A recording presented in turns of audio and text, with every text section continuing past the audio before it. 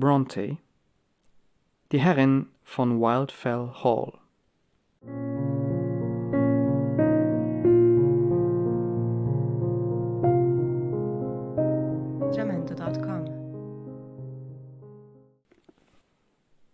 An J. Halford, Esquire.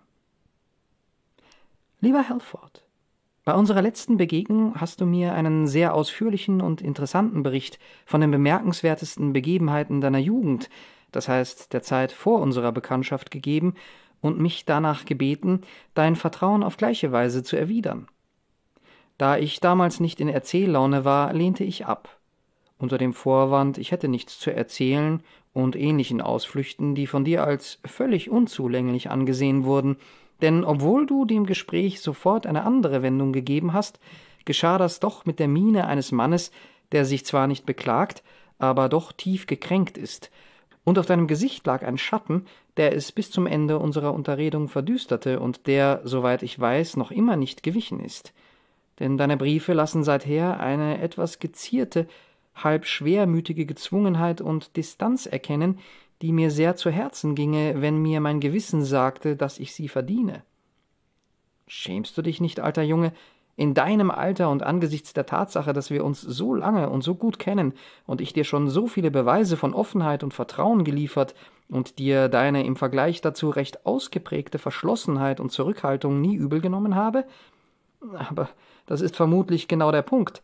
Du bist von Natur aus nicht sehr mitteilsam und glaubtest, Wunder was getan und bei jener denkwürdigen Gelegenheit einen beispiellosen Beweis freundschaftlichen Vertrauens erbracht zu haben, der, wie du dir bestimmt geschworen hast, der letzte dieser Art sein soll.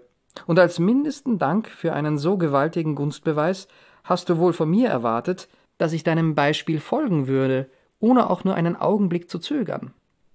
Nun, ich habe nicht zur Feder gegriffen, um dir Vorwürfe zu machen oder mich zu verteidigen oder mich für vergangene Sünden zu rechtfertigen, sondern, wenn möglich, sie wieder gut zu machen. Es ist heute ein nasser, verregneter Tag. Die Familie ist ausgegangen, um einen Besuch zu machen. Ich sitze allein in meiner Bibliothek und habe einige alte, stockfleckige Briefe und Schriftstücke durchgesehen und über vergangene Zeiten nachgesonnen, so dass ich jetzt in der richtigen Gemütsverfassung bin, dich mit einer altväterlichen Geschichte zu unterhalten. Und nachdem ich meine schon ziemlich angeschmorten Füße vom Kamineinsatz genommen, mich zum Tisch umgedreht und die obigen Zeilen an meinen bärbeißigen alten Freund niedergeschrieben habe, will ich ihm in groben Zügen nein, nicht in groben Zügen, sondern umfassend und wahrheitsgetreu von bestimmten Umständen berichten, die mit dem wichtigsten Ereignis meines Lebens verbunden sind. Vor meiner Bekanntschaft mit Jack Halford zumindest, und wenn du das gelesen hast, magst du mich der Undankbarkeit oder der eines Freundes unwürdigen Verschlossenheit sein, wenn du kannst. Ich weiß, dass du lange Geschichten magst und ein ebenso großer Pedant bist wie meine Großmutter, wenn es um ausführliche Darstellung und weitschweifige Details geht, und so will ich dich denn auch nicht verschonen. Nur meine eigene Geduld und Muße sollen mir Grenzen setzen. Unter den Briefen und Schriftstücken, die ich ansprach, befindet sich auch ein vergilbtes altes Tagebuch von mir, das ich erwähne, um klarzustellen, dass ich mich nicht ausschließlich auf mein Gedächtnis, so gut es auch ist, verlassen muss. Damit deine Bereitschaft, mir zu glauben, nicht allzu sehr in Anspruch genommen wird, wenn du mir durch die kleinsten Einzelheiten meiner Erzählung folgst. So beginne ich also mit Kapitel 1, denn es soll eine Geschichte mit vielen Kapiteln werden.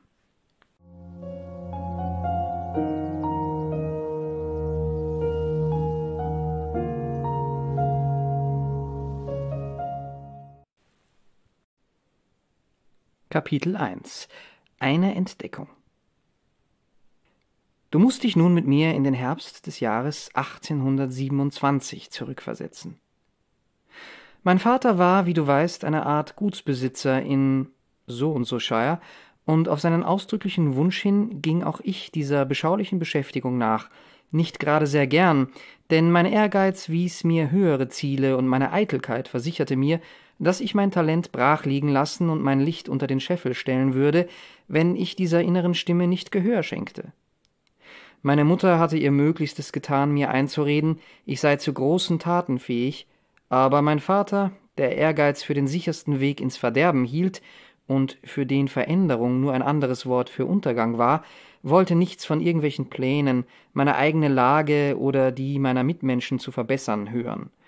Er versicherte mir, es sei alles Blödsinn und ermahnte mich bei seinem letzten Atemzug auf die bewährte Weise weiterzumachen, in seine Fußstapfen und die seines Vaters vor ihm zu treten und meinen hochfliegenden Ehrgeiz aufzugeben, um als ehrlicher Mann durchs Leben zu gehen, weder nach rechts noch nach links zu blicken und die väterlichen Ländereien in mindestens ebenso blühendem Zustand meinen Kindern zu übergeben, wie er sie mir hinterließ.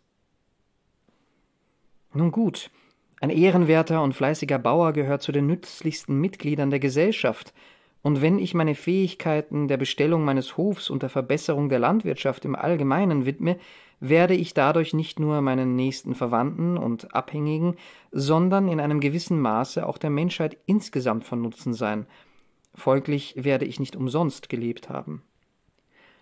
Mit solchen Überlegungen versuchte ich mich zu trösten, als ich eines kalten, feuchten, bewölkten Abends Ende September von den Feldern heimwärts trottete. Doch der Schein eines rotglühenden Feuers durch das Fenster des Salons vermochte meine Stimmung eher aufzuheitern und mir die Undankbarkeit meines Aufbegehrens nachhaltiger vor Augen zu führen, als all die klugen Überlegungen und guten Vorsätze, die ich mir abgerungen hatte. Denn ich war ja damals noch jung, das darfst du nicht vergessen, erst vierundzwanzig, und ich hatte mich noch nicht halb so gut im Griff wie heute, wie wenig das auch sein mag.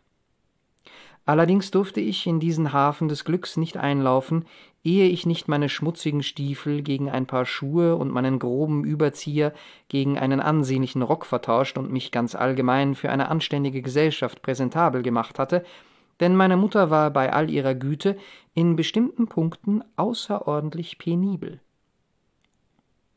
Als ich zu meinem Zimmer hinaufging, begegnete mir auf der Treppe ein aufgewecktes, hübsches, neunzehnjähriges Mädchen von niedlicher, untersetzter Gestalt, mit einem runden Gesicht, glühenden, frischen Wangen, glänzenden, dichten Locken und lustigen, braunen Äuglein. Ich brauche dir wohl nicht zu sagen, dass es meine Schwester Rose war. Ich weiß, sie ist immer noch eine anmutige ältere Dame und in deinen Augen bestimmt nicht weniger liebenswert als an jenem glücklichen Tag, da du sie zum ersten Mal erblicktest. Damals konnte ich freilich noch nicht wissen, dass sie in wenigen Jahren die Frau eines Mannes werden sollte, der mir zu jenem Zeitpunkt noch völlig unbekannt war, mir später aber sogar ein engerer Freund als sie selbst werden und mir näher stehen sollte als jener ungehobelte siebzehnjährige Bursche, der mir beim Herunterkommen im Hausgang entgegentrat und mich beinahe aus dem Gleichgewicht gebracht hätte, und der zur Strafe für seine Unverschämtheit einen krachenden Schlag auf den Kopf erhielt, welcher jedoch von der Züchtigung keinen ernsthaften Schaden davon trug, da er nicht nur ungewöhnlich dickschädelig, sondern zudem noch von einem dichten Schopf roter Locken geschützt war, die meine Mutter Kastanienbraun nannte. Als wir den Salon betraten, sahen wir diese ehrenwerte Dame in einem Lehnstuhl neben dem Kamin sitzen und an ihrem Strickzeug arbeiten, wie es ihre Gewohnheit war, wenn sie nichts anderes zu tun hatte. Sie hatte den Kaminrost gekehrt und zu unserem Empfang ein hell loderndes Feuer entfacht. Der Diener hatte eben das Teetablett hereingebracht, und Rose holte gerade die Zuckerschale und den Teekessel aus der Kredenz des schwarzen Eichenschranks, der in dem anheimelnden Dämmerschein des Salons wie poliertes Ebenholz glänzte. Nun, hier sind ja die beiden, rief meine Mutter, wobei sie sich zu uns umdrehte, ohne die Bewegung ihrer flinken Finger und funkelnden Nadeln zu verlangsamen. Macht jetzt die Tür zu und kommt her ans Feuer, bis Rose mit dem Tee fertig ist. Ihr seid bestimmt schon halb verhungert. Und erzählt mir, wo ihr den ganzen Tag lang gewesen seid. Ich erfahre gern, was meine Kinder so alles getrieben haben. Ich habe das graue Fohlen zugeritten. Keine leichte Aufgabe, wahrlich. Das Pflügen des letzten Weizenstoppelfeldes beaufsichtigt, denn der Ackerknecht ist zu dumm, um selbst die Aufsicht zu übernehmen, und ich habe einen Plan zur umfassenden und wirksamen Entwässerung der niedrig gelegenen Wiesen ausgeführt. Das ist ganz mein tüchtiger Junge. Und Fergus, was hast du gemacht? Dachse gejagt. Und im Folgenden berichtete er uns eingehend von seinem Zeitvertreib und dem Heldenmut, den sowohl der Dachs als auch die Hunde an den Tag gelegt hatten. Meine Mutter tat so, als höre sie mit gespannter Aufmerksamkeit zu und betrachtete seine vor Eifer glühende Miene mit einem Maß an mütterlicher Bewunderung, das mir für den Gegenstand derselben reichlich unangemessen schien. Es ist Zeit, dass du irgendetwas anderes tust, Fergus, sagte ich, sobald mir eine kurze Unterbrechung in seiner Schilderung die Möglichkeit bot, zu Wort zu kommen. Was kann ich denn schon tun? erwiderte er. Mutter will mich nicht zur See fahren oder in die Armee eintreten lassen, und ich bin fest entschlossen, nichts anderes zu tun, außer mich euch allen zu einer solchen Plage zu machen, dass ihr noch einmal dankbar seid, wenn ihr mich je loswerdet, egal wie. Unsere Mutter streichelte ihm besänftigend die störrischen kurzen Locken. Er maulte und versuchte, ein mürrisches Gesicht zu machen, und dann nahmen wir alle auf Roses dreimal wiederholte Aufforderung hin unsere Plätze bei Tisch ein. Trinkt jetzt euren Tee, sagte sie, und ich will euch gleich erzählen, was ich gemacht habe. Ich war zu Besuch bei den Wilsons, und es ist ewig schade, dass du nicht mitgekommen bist, Gilbert, denn Eliza Millward war dort. Na schön, was ist mit ihr? Oh, nichts. Ich will ja nicht von ihr erzählen, nur dass sie ein nettes, amüsantes kleines Ding ist, wenn sie fröhlicher Laune ist, und ich hätte nichts dagegen, sie. Psst, psst, mein Kind, dein Bruder hat keine derartige Absicht, flüsterte meine Mutter angelegentlich und hob den Zeigefinger. Also, begann Rose von neuem, ich wollte euch gerade eine wichtige Neuigkeit erzählen, die ich dort erfuhr. Seither platze ich fast vor Ungeduld, sie loszuwerden. Wie ihr wisst, wurde vor einem Monat berichtet, dass irgendjemand Wildfell Hall übernehmen wolle. Und, was glaubt ihr wohl, seit über einer Woche ist es tatsächlich bewohnt. Und wir haben noch gar nichts davon gewusst. Ausgeschlossen, rief meine Mutter. Lachhaft, kreischte Fergus. Doch, und zwar von einer alleinstehenden Dame. Du lieber Himmel, mein Kind, das Anwesen ist ja ganz verfallen. Sie hat zwei oder drei Zimmer bewohnbar machen lassen, und dort lebt sie ganz allein, abgesehen von einer alten Frau, die sie als Dienerin hat. Ach du meine Güte, das verdirbt die Sache. Ich hatte gehofft, sie wäre eine Hexe, bemerkte Fergus, während er sich sein fingerdickes Stück Butterbrot schnitt. Unsinn, Fergus. Aber ist es nicht merkwürdig, Mama? Merkwürdig? Ich kann es kaum glauben. Aber du kannst es ruhig glauben, denn Jane Wilson hat sie gesehen. Sie ging mit ihrer Mutter hin, die natürlich, als sie von einer Fremden in der Nachbarschaft hörte, ganz kribbelig war, sie zu sehen und alles, was sie konnte, aus ihr herauszubekommen. Sie nennt sich Mrs. Graham und sie trägt Trauer. Keine Witwentracht, sondern leichte Trauerkleidung. Und sie ist noch ganz jung, heißt es. Nicht älter als fünf oder sechsundzwanzig. Aber so reserviert. Sie versuchten alles Erdenkliche, um herauszufinden, wer sie ist und woher sie kommt, und alles über sie. Doch weder Mrs. Wilson mit ihren ausdauernden und dreisten, treffsicheren Attacken, noch Miss Wilson mit ihrem geschickten Manövrieren gelang es ihr auch nur eine einzige befriedigende Antwort oder zufällige Bemerkung zu entlocken oder ein Wort zu ergattern, das geeignet gewesen wäre, ihre Neugier zu stillen oder den schwächsten Lichtstrahl auf ihre Geschichte, Lebensumstände oder gesellschaftlichen Beziehungen zu werfen. Zudem war sie nicht besonders höflich zu ihnen und sagte offensichtlich lieber Adieu als guten Tag. Aber Eliza Millward meint, ihr Vater wolle ihr bald seine Aufwartung machen, um ihr etwas geistlichen Beistand anzubieten, den sie, wie er fürchte, nötig habe, da sie sich am Sonntag nicht in der Kirche blicken ließ, obwohl sie, wie man weiß, schon Anfang letzter Woche in diese Gegend gekommen ist. Und sie das heißt Eliza, wird ihn bitten, ihn begleiten zu dürfen und ist sicher, dass sie es schaffen wird, etwas aus ihr herauszubringen. Du weißt ja, Gilbert, sie bringt alles fertig. Und wir sollten in nächster Zeit dort einen Besuch abstatten, Mama. Das gehört sich schließlich so. Natürlich, mein Kind, die Ärmste, wie einsam sie sich fühlen muss. Und beeilt euch, wenn ich bitten darf, und vergesst nicht, mir zu berichten, wie viel Zucker sie in ihren Tee tut und welche Art von Hauben und Schürzen sie trägt und all das, denn ich weiß gar nicht, wie ich bis dahin leben soll, sagte Fergus mit großem Ernst. Aber wenn er bezweckte, dass diese Äußerung als ungeheuer geistreicher Einfall willkommen geheißen würde, hatte er sich geirrt, denn niemand lachte. Ihn allerdings konnte das nicht besonders aus der Fassung bringen, denn als er ein Stück von seinem Butterbrot abgebissen hatte und gerade einen Schluck Tee trinken wollte, übermannte ihn die Situationskomik mit solch unwiderstehlicher Macht, dass er vom Tisch aufspringen und prustend und würgend aus dem Zimmer stürzen musste, und kurz darauf hörte man ihn in einem fürchterlichen Lachanfall im Garten herumtoben. Was mich anging, so begnügte ich mich damit, schweigend Tee, Speck und Toast zu vertilgen, während meine Mutter und meine Schwester ihre Unterhaltung fortsetzten und weiter die offensichtlichen oder nicht offensichtlichen Umstände und die wahrscheinliche oder nicht wahrscheinliche Lebensgeschichte der geheimnisvollen Dame erörterten. Aber ich muss gestehen, dass ich nach dem Missgeschick meines Bruders ein oder zweimal die Tasse an meine Lippen führte und sie wieder absetzte, ohne dass ich gewagt hätte, von ihrem Inhalt zu kosten, stand doch zu befürchten, dass ich meine Würde durch einen ähnlichen Ausbruch verletzte.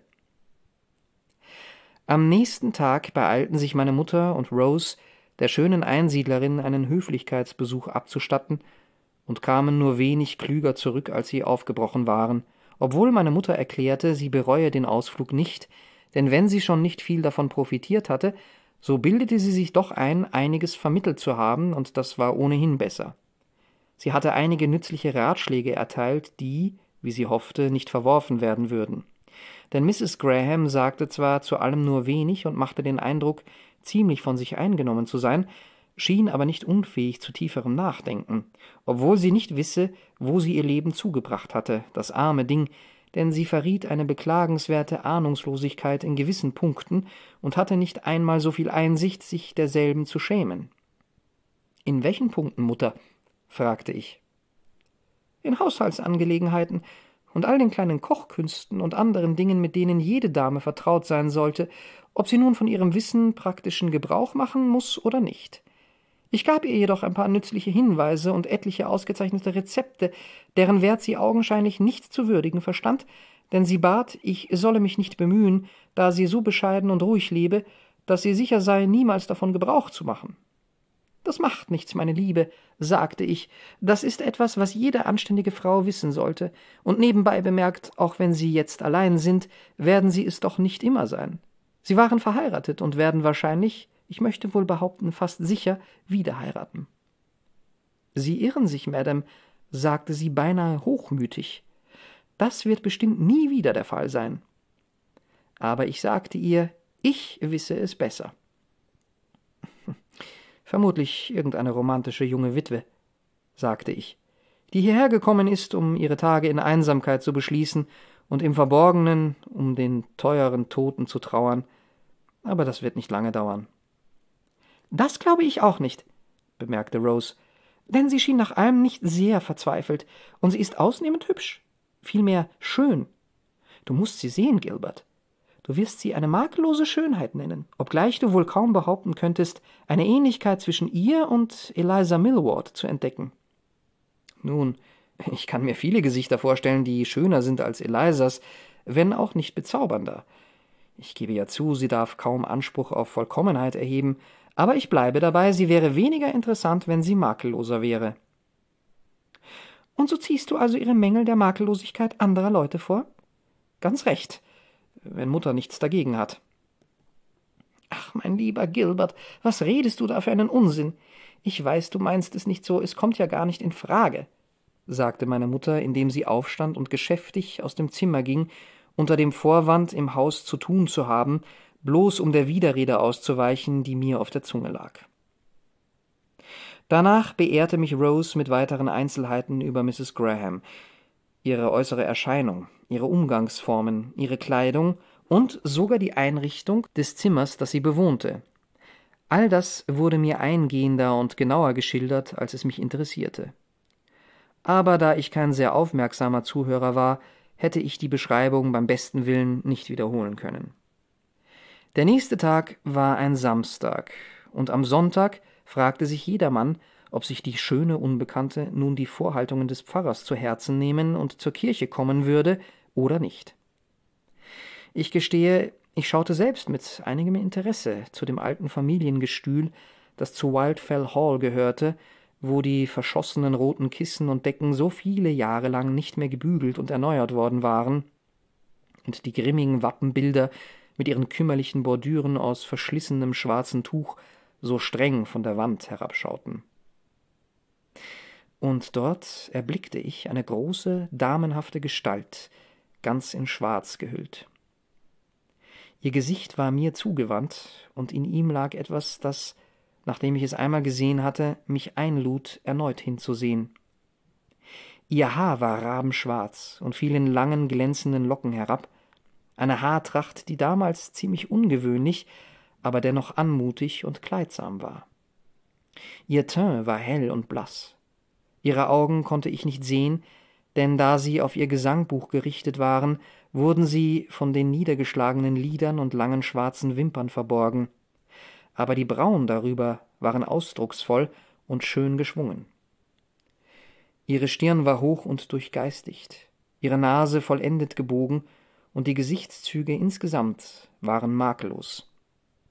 Nur wirkten ihre Wangen und Augen etwas eingefallen, und die Lippen waren, obzwar schön geformt, eine Spur zu schmal, ein wenig zu fest zusammengepresst und hatten etwas, das, so schien mir, von einem nicht sehr sanften und liebenswürdigen Wesen zeugte.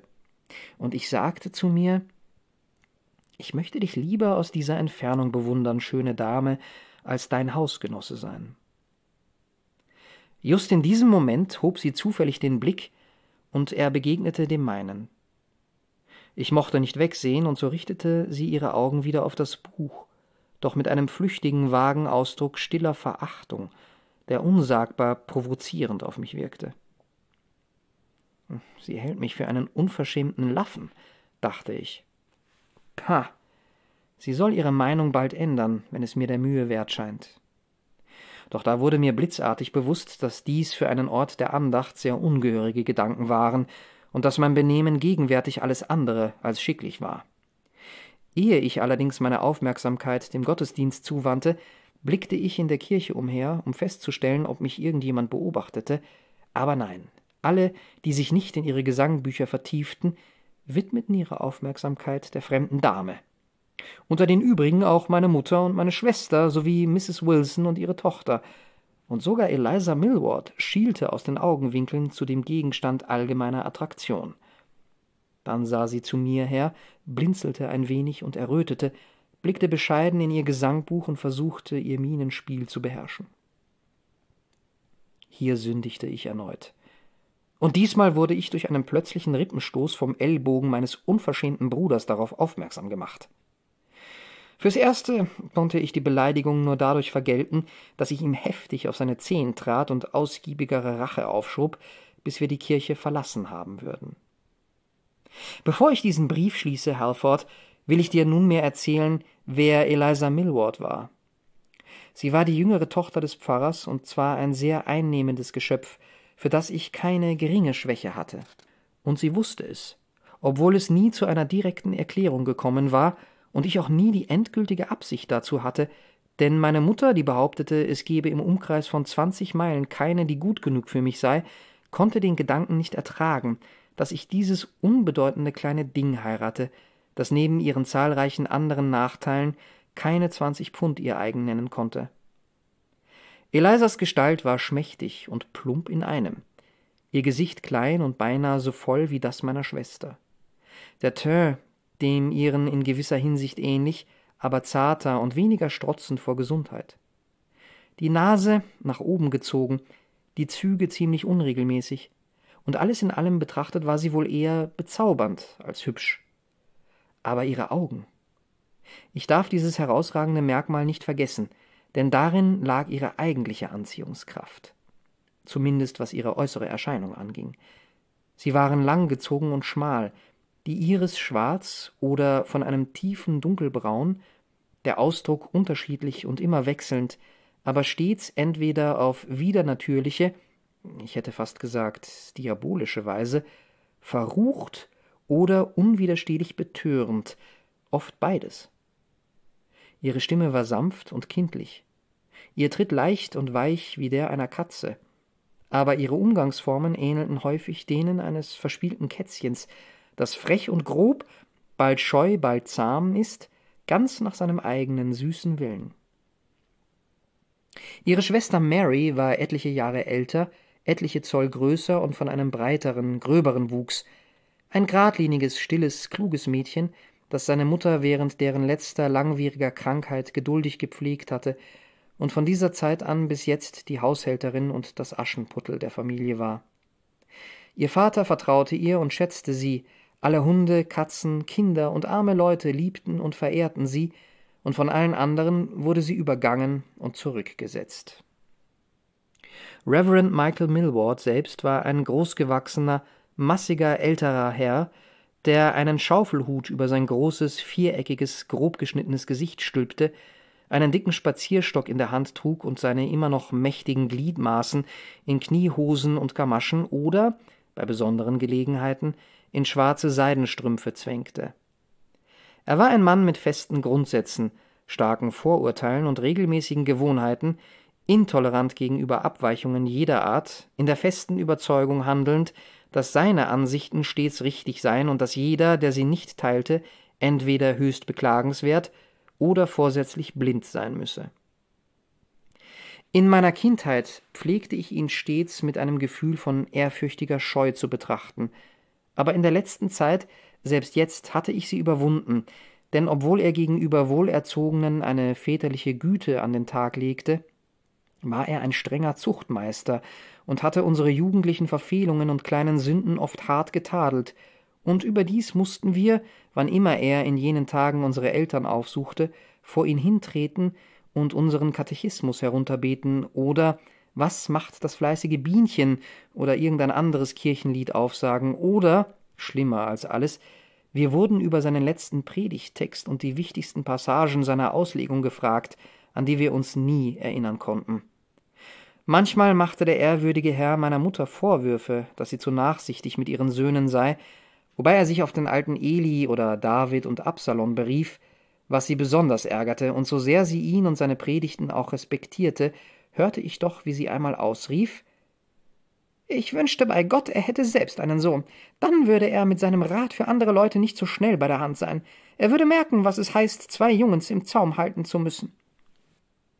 Er befleißigte sich einer löblichen Sorgfalt gegenüber seinem körperlichen Wohlbefinden, stand sehr zeitig auf, unternahm regelmäßig vor dem Frühstück einen Spaziergang, achtete peinlich genau auf warme und trockene Kleidung, hatte noch niemals eine Predigt gehalten, ohne vorher ein rohes Ei geschluckt zu haben, obgleich er mit guten Lungen und einer gewaltigen Stimme gesegnet war, und zeigte sich ganz allgemein äußerst wählerisch in dem, was er aß und trank, wenn auch keineswegs abstinent, und hatte eine auf ihn selbst zugeschnittene Art der Diät. Er war ein Verächter von Tee und ähnlichem Spülwasser und ein Verfechter von Malzbier, Speck und Eiern, Schinken, gedörrtem Rindfleisch und anderen deftigen Speisen, die seinen Verdauungsorganen durchaus zuträglich waren und die er daher als gut und bekömmlich für jedermann ansah und sie voller Zuversicht sogar den schwächlichsten Rekonvaleszenten oder Dyspeptikern empfahl, denen er, wenn sie aus seinen Verordnungen nicht den versprochenen Nutzen ziehen konnten, sagte, das käme davon, dass sie sich nicht daran gehalten hätten und die, wenn sie über ungünstige Nachwirkungen beklagten, die Versicherung erhielten, es sei alles nur Einbildung. Ich will nur noch auf zwei Personen zu sprechen kommen, die ich erwähnt habe, und dann diesen langen Brief beenden. Es sind dies Mrs. Wilson und ihre Tochter. Die erstgenannte war die Witwe eines vermögenden Gutsbesitzers, eine engstirnige, geschwätzige alte Klatschbase, deren Charakter nicht der Beschreibung lohnt.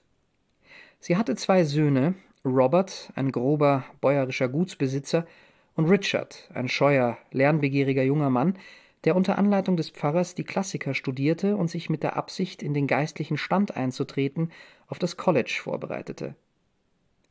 Ihre Schwester Jane war eine junge Dame mit einigen Fähigkeiten und noch mehr Ehrgeiz. Auf ihren eigenen Wunsch hin hatte sie eine reguläre Internatserziehung erhalten, was in ihrer Familie noch keiner erreicht hatte.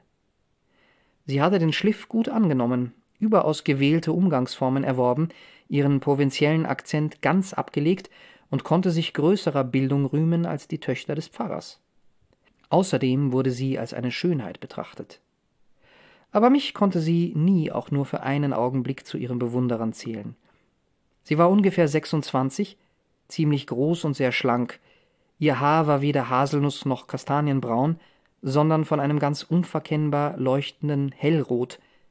Ihr Teint war bemerkenswert hell und strahlend, ihr Kopf klein, ihr Hals lang, das Kinn schön geschwungen, aber sehr kurz, die Lippen dünn und rot, die Augen hell haselnußbraun, lebhaft und durchdringend, doch bar jeder Poesie oder Empfindung.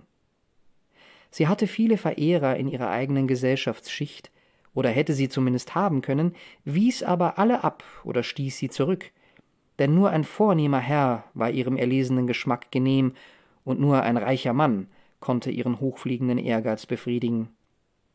Einen Herrn gab es indes, von dem sie unlängst ziemlich eindeutige Aufmerksamkeiten empfing und auf dessen Herz, Name und Vermögen, so wurde geflüstert, sie ernsthafte Absichten hatte.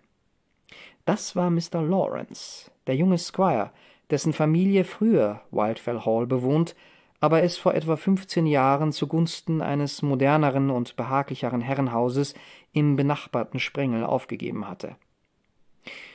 Nun, Halford, sage ich dir für diesmal Adieu. Das ist die erste Rate meiner Schuld. Wenn dir die Münze recht ist, lass es mich wissen, und ich schicke dir den Rest, wenn ich Zeit habe. Falls du lieber mein Gläubiger bleiben möchtest, als deinen Geldbeutel mit so plumpen, schweren Geldstücken vollzustopfen, sag es mir ruhig, und ich will dir deinen schlechten Geschmack verzeihen und gern den Schatz für mich behalten. Immer der deine, Gilbert Markham. Kapitel 2 Eine Unterredung Erfreut stelle ich fest, mein allergeschätztester Freund, dass die Wolke deines Unmuts gewichen ist. Das Licht deiner Gunst labt mich wieder du verlangst nach der Fortsetzung meiner Geschichte. Deshalb sollst du sie ohne weitere Umstände bekommen. Ich glaube, der Tag, den ich zuletzt erwähnte, war ein gewisser Sonntag, der letzte im Oktober des Jahres 1827. Am darauffolgenden Dienstag war ich mit meinem Hund und meiner Flinte draußen auf der Jagd nach Wild, wie ich es im Gebiet von Linden Carr antreffen konnte – aber da ich keins aufstöberte, richtete ich meine Waffe auf die Falken und die Rabenkrähen, deren Raubzüge mich, wie ich vermutete, um bessere Beute gebracht hatten. Zu diesem Zweck verließ ich die belebteren Gefilde, die bewaldeten Täler, die Kornfelder und die Wiesen und schickte mich an, die steile Anhöhe von Wildfell hinaufzusteigen, die wildeste und höchste Erhebung in unserer Gegend, wo die Hecken ebenso wie die Bäume, je höher man kommt, kärglich und verkrüppelt werden und jene schließlich rohen, zum Teil mit Efeu und Moos überwachsenen Steinmauern, diese Lärchen und schottischen Eisenholzbäumen oder vereinzelten Schlehdornsträuchern weichen. Da die Felder dort uneben und steinig und vollkommen ungeeignet für den Pflug sind, wurden sie zumeist zum Weiden der Schafe und des Viehs genutzt. Das Erdreich war dünn und unergiebig. Graue Felsbrocken ragten hier und dort aus den begrasten Hügelchen, Blaubeersträucher und Heidekraut, Relikte noch wilderer Ödnis wuchsen unter den Mauern. Und in vielen der Einfriedungen hatten Kreuzkraut und Binsen die spärlich wachsenden Kräuter völlig überwuchert, aber es war ja nicht mein Besitz. Fast auf dem Gipfel des Hügels, etwa zwei Meilen von Lindencar entfernt, stand Wildfell Hall, ein ausgedienter Landsitz aus elisabethanischer Zeit, aus dunkelgrauem Stein erbaut, Achtung gebietend und malerisch anzuschauen, aber zweifellos recht kalt und düster als Wohnstätte, mit seinen dicken, steinernen Mittelpfeilern und kleinen, vergitterten Fensterscheiben, seinen vom Zahn der Zeit angenagten Windfängen und seiner allzu einsamen, allzu ungeschützten Lage, vor den Unbilden von Wind und Wetter geschützt, nur durch eine Gruppe schottischer Fichten, die selbst von Stürmen fast zerzaust waren und so bedrohlich und düster aussahen wie das Herrenhaus selbst. Hinter demselben lagen einige brachliegende Felder und dann die braune, von Heidekraut bedeckte Kuppe des Hügels. Vor dem Haus befand sich, umgeben von Steinmauern und zugänglich durch ein eisernes Tor mit großen, die Torpfosten überragenden Kugeln aus grauem Granit, ähnlich denen, die das Dach und die Giebel zierten, ein Garten, in dem einst Pflanzen und Blumen gestanden hatten, die so widerstandsfähig waren, dass sie den Boden und das Klima am ehesten ertrugen, sowie Bäume und Sträucher, die der erbarmungslosen Schere des Gärtners am besten standhielten und am bereitwilligsten die Gestalt annahmen, die er ihnen zu geben beschloss. Dieser Garten bot jetzt, da er seit so vielen Jahren nicht mehr bepflanzt und gepflegt und dem Unkraut und Gras, dem Frost und dem Wind, dem Regen und der Trockenheit überlassen wurde, in der Tat einen sehr ungewöhnlichen Anblick.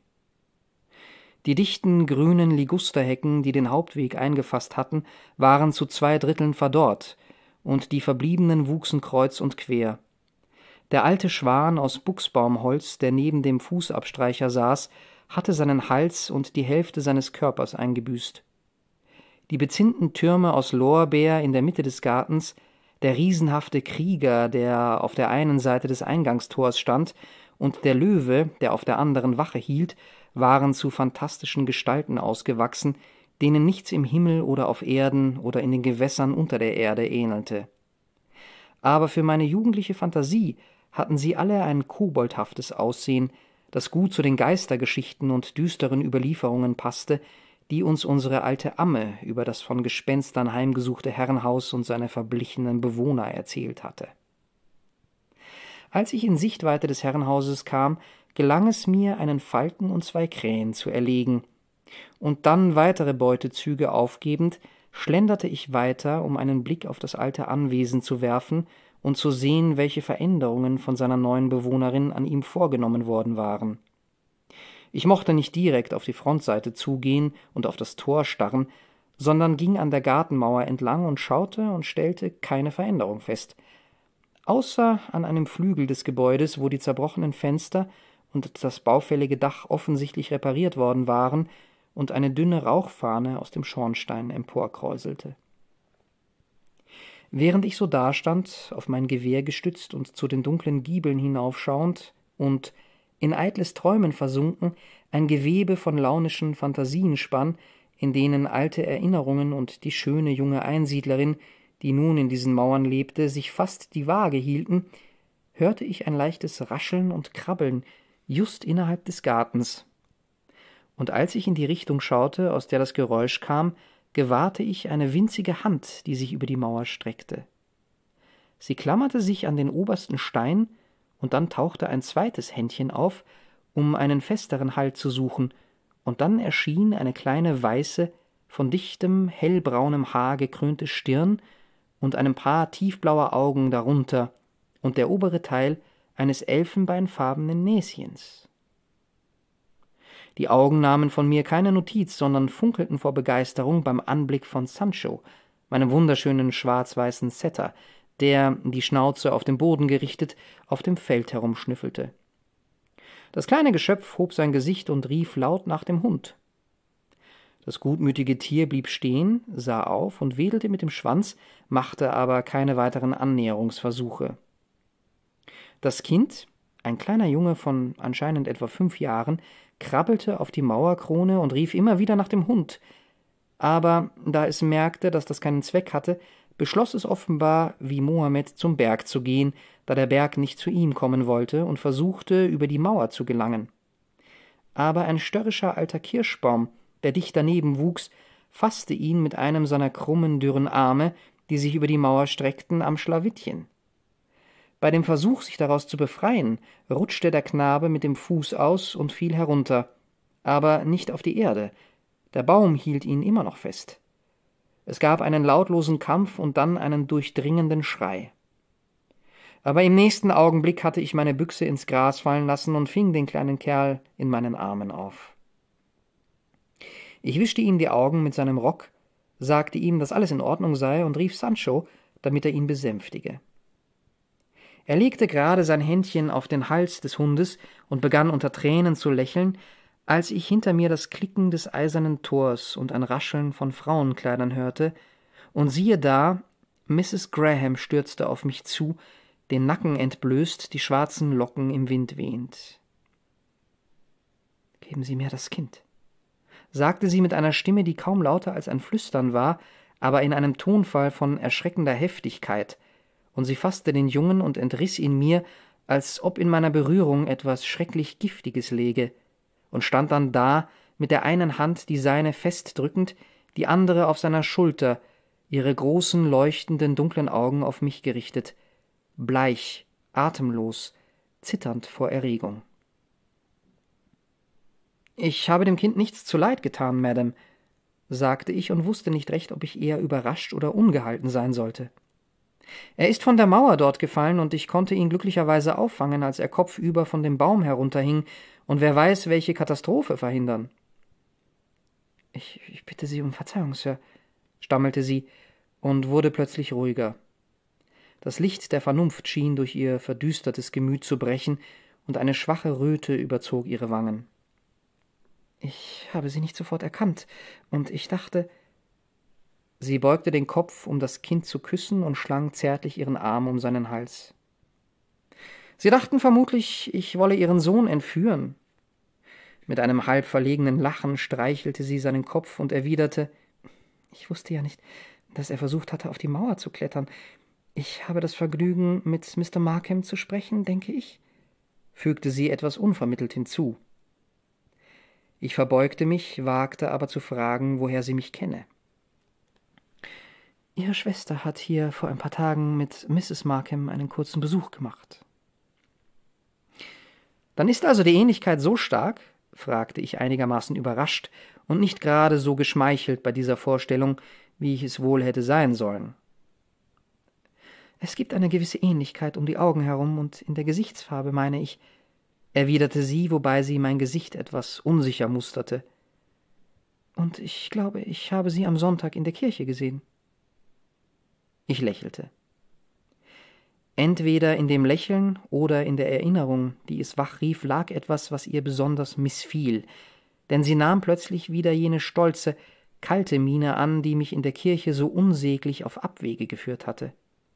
Eine Miene von abweisender Verachtung, die sich so leicht und so ganz ohne die geringste Verzerrung einzelner Züge einstellte, dass sie, solange sie auf ihrem Antlitz lag, der natürliche Ausdruck desselben zu sein schien und umso provozierender auf mich wirkte, als ich mir nicht vorstellen konnte, dass sie vorgetäuscht war. Guten Morgen, Mr. Markham, sagte sie, und ohne noch ein Wort oder einen Blick zu verschwenden, zog sie sich mit dem Kind in den Garten zurück, und ich ging wieder nach Hause, wütend und unzufrieden, ich könnte kaum sagen, weswegen, und will es daher auch gar nicht erst versuchen. Ich blieb nur so lange, bis ich Gewehr und Pulverhorn beiseite gelegt und einem der Knechte einige notwendige Anweisungen erteilt hatte, und begab mich dann zum Pfarrhaus, um auf fröhlichere Gedanken zu kommen und mein aufgewühltes Gemüt durch die Gesellschaft und Unterhaltung von Eliza Millward zu besänftigen. Wie üblich traf ich sie mit einer Plattstichstickerei eifrig beschäftigt an, die Manie für Zephyrstickerei hatte damals noch nicht eingesetzt. Während ihre Schwester in der Kaminecke saß, die Katze auf den Knien und einen ganzen Berg Strümpfe stopfte. Mary, Mary, leg sie weg, sagte Eliza hastig, als ich das Zimmer betrat. Bestimmt nicht, lautete die behäbige Antwort, und mein Erscheinen verhinderte jede weitere Diskussion. Sie haben ja solches Pech, Mr. Markham, bemerkte die jüngere Schwester mit einem ihrer schelmischen, verschmitzten Blicke. Papa ist eben in die Gemeinde gegangen und wird wahrscheinlich erst in einer Stunde zurück sein. Das macht nichts. Ich werde wohl ein paar Minuten mit seinen Töchtern verbringen können, wenn Sie es mir erlauben, sagte ich, stellte einen Stuhl vor dem Kamin und setzte mich dorthin, ohne zu warten, dass man mich darum bat. Nun, wenn Sie recht nett und unterhaltsam sind, werden wir nichts dagegen haben. Knüpfen Sie an Ihre Erlaubnis bitte keine Bedingung, denn ich bin nicht gekommen, um Fröhlichkeit zu verbreiten, sondern zu suchen, antwortete ich. Ich hielt es jedoch für angezeigt, eine kleine Anstrengung zu unternehmen, um Ihnen meine Gesellschaft angenehm zu machen. Und wie wenig ich mich auch anstrengte, so schien dem doch durchaus Erfolg beschieden, denn Miss Eliza war nie zuvor besserer Laune. In der Tat schienen wir Gefallen aneinander zu finden und schafften es, eine heitere und angeregte, wenn auch nicht sehr tiefschürfende Konversation zwischen uns in Gang zu halten. Es war eigentlich eher ein Tete-a-Tete, denn Miss Millward tat nie den Mund auf, außer um gelegentlich eine mutwillige Behauptung oder eine übertriebene Äußerung ihrer Schwester zurechtzurücken und sie einmal zu bitten, das Wollknäuel aufzuheben, das unter den Tisch gerollt war. Ich tat dies jedoch selbst gewissermaßen pflichtgemäß. Danke, Mr. Markham, sagte sie, als ich es ihr überreichte. Ich hätte es wohl selbst aufgehoben. Ich wollte nur nicht die Katze aufstören. Mary, Liebe, das würde dich in Mr. Markhams Augen nicht entschuldigen, sagte Eliza. Er hasst Katzen. Das möchte ich wohl behaupten, ebenso von Herzen, wie er alte Jungfern hasst. Wie alle anderen Herren auch. Nicht wahr, Mr. Markham? Ich finde es ganz natürlich, dass unser unfreundliches Geschlecht diese Geschöpfe nicht mag, erwiderte ich, denn ihr Damen verschwendet so viele Liebkosungen an sie. Gott schütze sie, die kleinen Lieblinge, rief sie in einem plötzlichen Ausbruch von Begeisterung, wandte sich um und überschüttete das Schmusetier ihre Schwester mit einem Regen von Küssen. Lass das, Eliza, sagte Miss Millward etwas schroff und stieß sie ungeduldig weg. Aber es war Zeit für mich zu gehen. Ich mochte mich beeilen, wie ich wollte, ich würde trotzdem zu spät zum Tee kommen, und meine Mutter war ein Ausbund an Ordnung und Pünktlichkeit. Meine schöne Freundin ließ mich offensichtlich nur ungern gehen. Beim Abschied drückte ich ihr zärtlich die kleine Hand, und sie schenkte mir dafür ihr süßestes Lächeln und einen ihrer betörendsten Blicke. Ich ging sehr glücklich nach Hause, das Herz randvoll mit Selbstzufriedenheit und überfließend vor Liebe zu Eliza.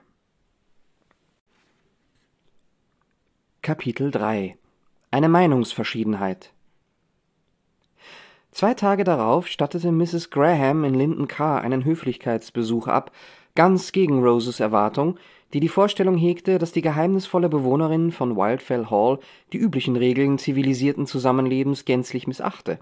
Eine Meinung, in der sie von den Wilsons bestärkt wurde, die bezeugten, dass weder ihr eigener Besuch noch der der Millwards bisher erwidert worden sei. Nun allerdings war der Grund für die Unterlassung geklärt, wenn auch nicht ganz zu Roses Zufriedenheit. Mrs. Graham hatte ihr Kind mitgebracht, und auf das Erstaunen, das meine Mutter darüber zum Ausdruck brachte, dass es so weit laufen könne, erwiderte sie Es ist ein langer Spaziergang für ihn, aber ich musste ihn entweder mitnehmen oder ganz von dem Besuch absehen, denn ich lasse ihn nie allein. Und ich darf Sie, Mrs. Markham, wohl bitten, mich bei den Millwards und bei Mrs. Wilson zu entschuldigen, wenn Sie sie sehen, da ich fürchte, ich muss mir das Vergnügen, Sie zu besuchen, versagen, bis mein kleiner Arthur in der Lage ist, mich zu begleiten. Aber Sie haben doch eine Dienerin, sagte Rose. Können Sie ihn denn nicht bei ihr lassen? Sie hat sich um ihre eigenen Aufgaben zu kümmern, und nebenbei bemerkt ist sie zu alt, um hinter einem Kind herzurennen, und er ist zu quirlig, um einer älteren Frau aufgebürdet zu werden. Aber Sie haben ihn doch zu Hause gelassen, um in die Kirche zu kommen. Ja, einmal, aber aus einem anderen Grund hätte ich ihn nicht zu Hause gelassen, und ich denke, in Zukunft muss ich versuchen, ihn mitzunehmen oder zu Hause bleiben. Ist er denn so unartig? fragte meine Mutter ziemlich schockiert. Nein, erwiderte die Dame und lächelte traurig, als sie über die wallenden Locken ihres Sohnes strich, der auf einem niedrigen Stuhl zu ihren Füßen saß. Aber er ist mein Ein und alles, und ich bin seine einzige Freundin, also sind wir nicht gern voneinander getrennt. Aber, meine Liebe, das nenne ich Affenliebe, sagte meine Mutter, die nie ein Blatt vor den Mund nahm. Sie sollten versuchen, eine solch törichte Vernarrtheit zu unterdrücken, und zwar ebensowohl um ihren Sohn vor dem Verderben, als sich selbst vor Lächerlichkeit zu bewahren. Verderben, Mrs. Markham? Ja, es verdirbt das Kind. Selbst in seinem Alter sollte er nicht immer am Rockzipfel seiner Mutter hängen. Er sollte lernen, sich dafür zu schämen. Mrs. Markham, Bitte sagen Sie solche Dinge zumindest nicht in seiner Gegenwart. Ich bin überzeugt, mein Sohn wird sich niemals schämen, dass er seine Mutter liebt, sagte Mrs. Graham mit so ernstem Nachdruck, dass es die Anwesenden in Erstaunen versetzte. Meine Mutter bemühte sich, sie durch eine Erklärung zu besänftigen, aber sie schien der Meinung zu sein, es sei schon genug über dieses Thema gesagt worden und gab dem Gespräch unvermittelt eine andere Wendung. Genau wie ich es mir gedacht habe, sagte ich zu mir selbst. Die Wesensart der Dame ist nicht gerade die sanfteste, ungeachtet ihres lieblichen blassen Gesichts und ihrer edlen Stirn, auf der Denken und Leiden gleicherweise ihre Spuren hinterlassen zu haben scheinen. Während dieser ganzen Zeit saß ich an einem Tisch an der einen Seite des Zimmers, scheinbar in einen Band von Farmers Magazine versunken, in dem ich zufällig gerade zu dem Zeitpunkt gelesen hatte, als unsere Besucherin eintraf und da ich nicht übermäßig höflich sein wollte, hatte ich mich bei ihrem Eintritt lediglich verbeugt und meine Beschäftigung wie zuvor fortgesetzt. Nach einem Weilchen merkte ich indes, dass jemand leichten, aber langsamen und zögerlichen Schrittes auf mich zukam. Es war der kleine Arthur, unwiderstehlich angezogen von meinem Hund Sancho, der zu meinen Füßen lag. Als ich von dem Buch aufblickte, sah ich ihn in einer Entfernung von etwa zwei Yards stehen, wie er die klaren, blauen Augen sehnsüchtig auf den Hund richtete und sich nicht von der Stelle rührte, nicht etwa aus Angst vor dem Tier, sondern aus einer scheuen Abneigung, sich dessen Herrn zu nähern. Eine kleine Ermunterung bewog ihn jedoch näher zu kommen. Das Kind war zwar scheu, aber nicht verstockt. Im nächsten Augenblick kniete es auf dem Teppich, die Arme um Sanchos Hals geschlungen, und ein paar Minuten später saß der kleine Kerl auch schon auf meinen Knien und sah sich mit lebhaftem Interesse die verschiedenen Arten von Pferden, Schafen, Schweinen und Modellbauernhöfen an, die in dem Band vor mir abgebildet waren. Ab und zu schaute ich zu seiner Mutter hinüber, um zu sehen, wie ihr die neu entstandene Vertrautheit gefiel, und ich las aus dem unruhigen Ausdruck ihres Blicks, dass es ihr aus dem einen oder anderen Grund nicht recht war, das Kind so bei mir sitzen zu sehen. Arthur, sagte sie schließlich, komm her, du störst Mr. Markham, er möchte lesen. Keineswegs, Mrs. Graham. Bitte lassen Sie ihn bleiben. Mir macht es ebenso viel Spaß wie ihm, bat ich. Aber trotzdem rief sie ihn mit Gesten und Blicken, doch wortlos, zu sich. Nein, Mama, sagte das Kind. Lass mich zuerst diese Bilder anschauen, und dann komme ich und will dir alles darüber erzählen. Wir werden am Montag, dem 5. November, eine kleine Abendgesellschaft haben, sagte meine Mutter, und ich hoffe, Sie werden mit von der Partie sein. Sie können natürlich Ihren kleinen Jungen mitbringen, und wir werden wohl in der Lage sein, ihn zu unterhalten. Und dann können Sie Ihre Entschuldigungen den Millwards und den Wilsons selbst vortragen. Sie werden alle hier sein, denke ich. Danke, ich gehe niemals in Gesellschaft. Oh, aber es wird doch eine richtige Familienangelegenheit sein. Zu früher Stunde und nur wir selbst und eben die Millwards und Wilsons, von denen Sie die meisten ja bereits kennen, und Mr. Lawrence, Ihr Landlord, mit dem Sie Bekanntschaft machen sollten. Ich kenne ihn schon etwas, aber Sie müssen mich für dieses Mal entschuldigen. Denn die Abende sind jetzt düster und feucht, und Arthur, fürchte ich, ist zu zart, um sich unbeschadet ihren Gefahren auszusetzen. Wir müssen das Vergnügen Ihrer Gastfreundschaft verschieben, bis die Tage wieder länger und die Nächte wärmer sind. Auf einen Wink von meiner Mutter holte Rose nun eine Karaffe mit Wein samt Gläsern und Kuchen aus dem Geschirrladen unter dem Eichenschrank und die Erfrischung wurde den Gästen auf gebührende Weise fortgesetzt. Beide nahmen sich von dem Kuchen, aber den Wein wiesen sie hartnäckig zurück, trotz der gastfreundlichen Versuche der Hausfrau, ihn ihnen aufzudrängen. Insbesondere Arthur wich vor dem rubinroten Nektar zurück, wie wenn er Entsetzen und Abscheu empfände, und weinte fast, als man ihn zum Trinken drängte. Lass nur, Arthur, sagte seine Mama. Mrs. Markham meint, es wird dir gut tun, da du von deinem Spaziergang müde bist, aber sie wird dich nicht zwingen, davon zu trinken. Ich möchte wohl behaupten, dass du auch ohne ihn wieder auf die Beine kommst. Er verabscheut den bloßen Anblick von Wein, fügte sie hinzu, und sein Geruch macht ihn fast krank. Ich habe ihm immer etwas Wein oder eine schwache Mischung von Brandwein und Wasser als eine Art Medizin schlucken lassen, wenn er krank war, und ich habe wahrhaftig alles getan, was ich konnte, um ihm alkoholische Getränke verhaßt zu machen. Jedermann lachte, außer der jungen Witwe und ihrem Sohn. Also, Mrs. Graham, sagte meine Mutter, indem sie sich die Heiterkeitstränen aus ihren hellblauen Augen wischte. Also, Sie überraschen mich. Ich habe Ihnen wirklich mehr gesunden Menschenverstand zugetraut. Das arme Kind wird der größte Weichling werden, der je herangepäppelt wurde. Denken Sie doch nur, was für einen Mann Sie aus ihm machen werden, wenn Sie weiter darauf bestehen. Ich halte es für ein ausgezeichnetes Erziehungskonzept fiel ihr Mrs. Graham mit unerschütterlichem Ernst ins Wort. Damit hoffe ich ihn zumindest vor einem entwürdigenden Laster zu bewahren. Ich wünschte, ich könnte ihm jedes andere ebenso verleiden.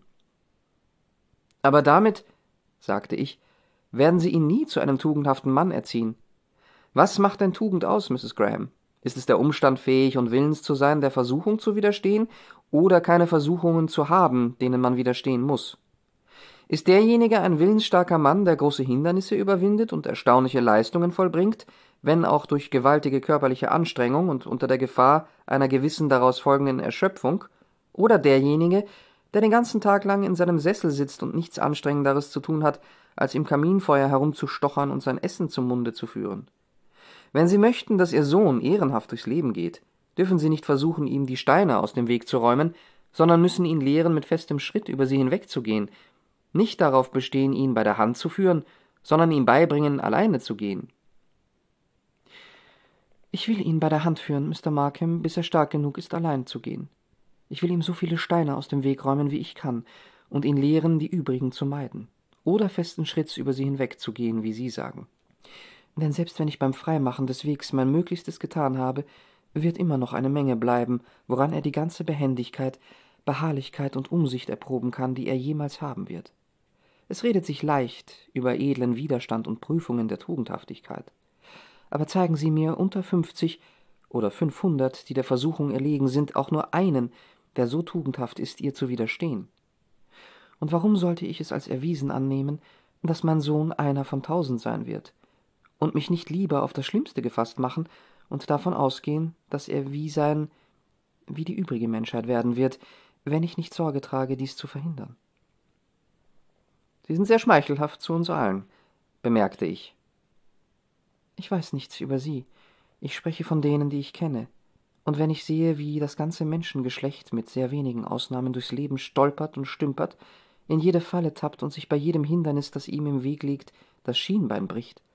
Soll ich da nicht alles in meiner Macht Stehende tun, um zu gewährleisten, dass sein Lebensweg ebener und weniger gefährdet ist? Ja, aber das sicherste Mittel wird sein, ihn gegen Versuchungen zu wappnen, nicht sie ihm aus dem Weg zu räumen. Ich will beides tun, Mr. Markham. Er wird, weiß Gott, genug Versuchungen ausgesetzt sein, sowohl von innen als auch von außen, wenn ich alles getan habe, was ich kann, ihm das Laster so zu verleiden, wie es ihm von seinem eigenen Wesen her ist. Ich selbst habe in der Tat nur wenige Verlockungen gehabt zu dem, was die Gesellschaft Laster nennt.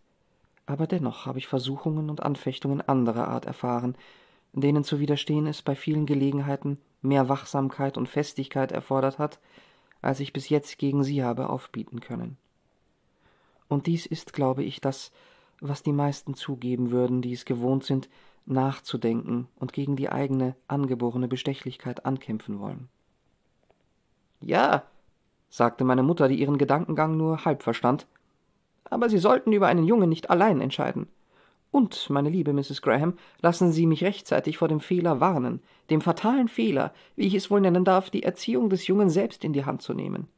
Weil Sie in einigen Dingen tüchtig und recht beschlagen sind, bilden Sie sich vielleicht ein, der Aufgabe gewachsen zu sein, doch tatsächlich sind Sie es nicht. Und glauben Sie mir, falls Sie an dem Versuch festhalten, werden Sie es bitter bereuen, wenn der Schaden erst einmal angerichtet ist. Ich soll ihn vermutlich in die Schule schicken, damit er lernt, die Autorität und Zuneigung seiner Mutter gering zu schätzen, sagte die Dame mit einem ziemlich bitteren Lächeln. Oh nein, aber wenn Sie möchten, dass ein Junge seine Mutter gering schätzt, dann muss sie ihn nur zu Hause behalten und ihr Leben damit verbringen, ihn zu verhätscheln und sich zur Sklavin seiner Verrücktheiten und Launen machen. Ich stimme vollkommen mit Ihnen überein, Mrs. Markham, aber nichts könnte meinen Grundsätzen und meinem Handeln ferner liegen als eine derart sträfliche Schwachheit. Nun, Sie werden ihn aber wie ein Mädchen behandeln. Sie werden seinen Mut verderben und einen richtigen Weichling aus ihm machen, bestimmt, Mrs. Graham. Sie mögen denken, was Sie wollen. Doch ich werde Mr. Millward ersuchen, mit Ihnen darüber zu sprechen. Er wird Ihnen die Folgen schildern. Er wird es Ihnen glasklar vor Augen führen und Ihnen sagen, was Sie tun sollten und alles darüber. Und ich bin ganz sicher, er wird Sie im Handumdrehen überzeugen können. Es besteht kein Anlass, dem Pfarrer Ungelegenheiten zu bereiten, sagte Mrs. Graham und sah zu mir hin. Vermutlich lächelte ich gerade über das schrankenlose Vertrauen meiner Mutter in diesen ehrwürdigen Herrn. Mr. Markham hier hält seine Überredungskünste denen des Mr. Millward mindestens für ebenbürtig. Wenn ich nicht auf ihn höre, ließe ich mich auch dann nicht überzeugen, wenn er Ihnen erzählen würde, dass einer von den Toten auferstünde.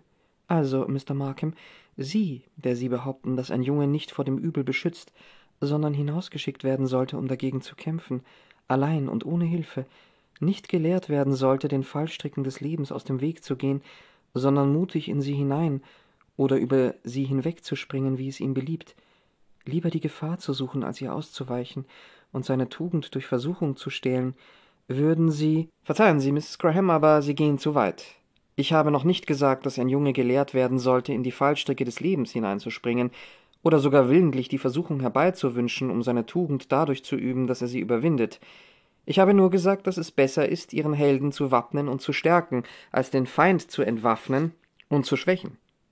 Und wenn Sie einen Eichensetzling in ein Treibhaus stellen, ihn Tag und Nacht sorgfältig zudecken und ihn vor jedem Windhauch abschirmen, können Sie nicht erwarten, dass ein so widerstandsfähiger Baum daraus wird wie einer, der auf der Bergseite herangewachsen ist, dem Wirken der Elemente ausgesetzt und nicht einmal vor dem Angriff des Sturms geschützt.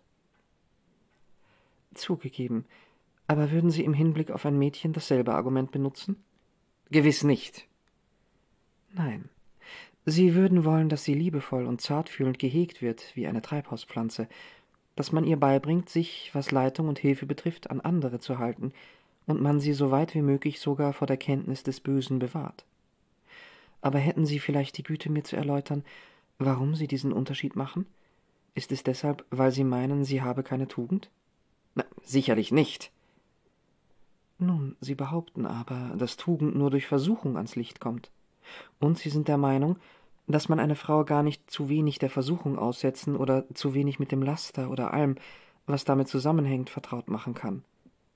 Das ist entweder deshalb so, weil Sie sie für so grundlegend lasterhaft oder für so anfällig halten, dass sie der Versuchung nicht widerstehen kann, und wenn sie auch rein und unschuldig sein mag, solange man sie noch in Unwissenheit und Gewahrsam hält, und dadurch um die wahre Tugend bringt, so heißt das doch, dass, wenn man sie lehrt, wie man sündigt, man sie zugleich zu einer Sünderin macht.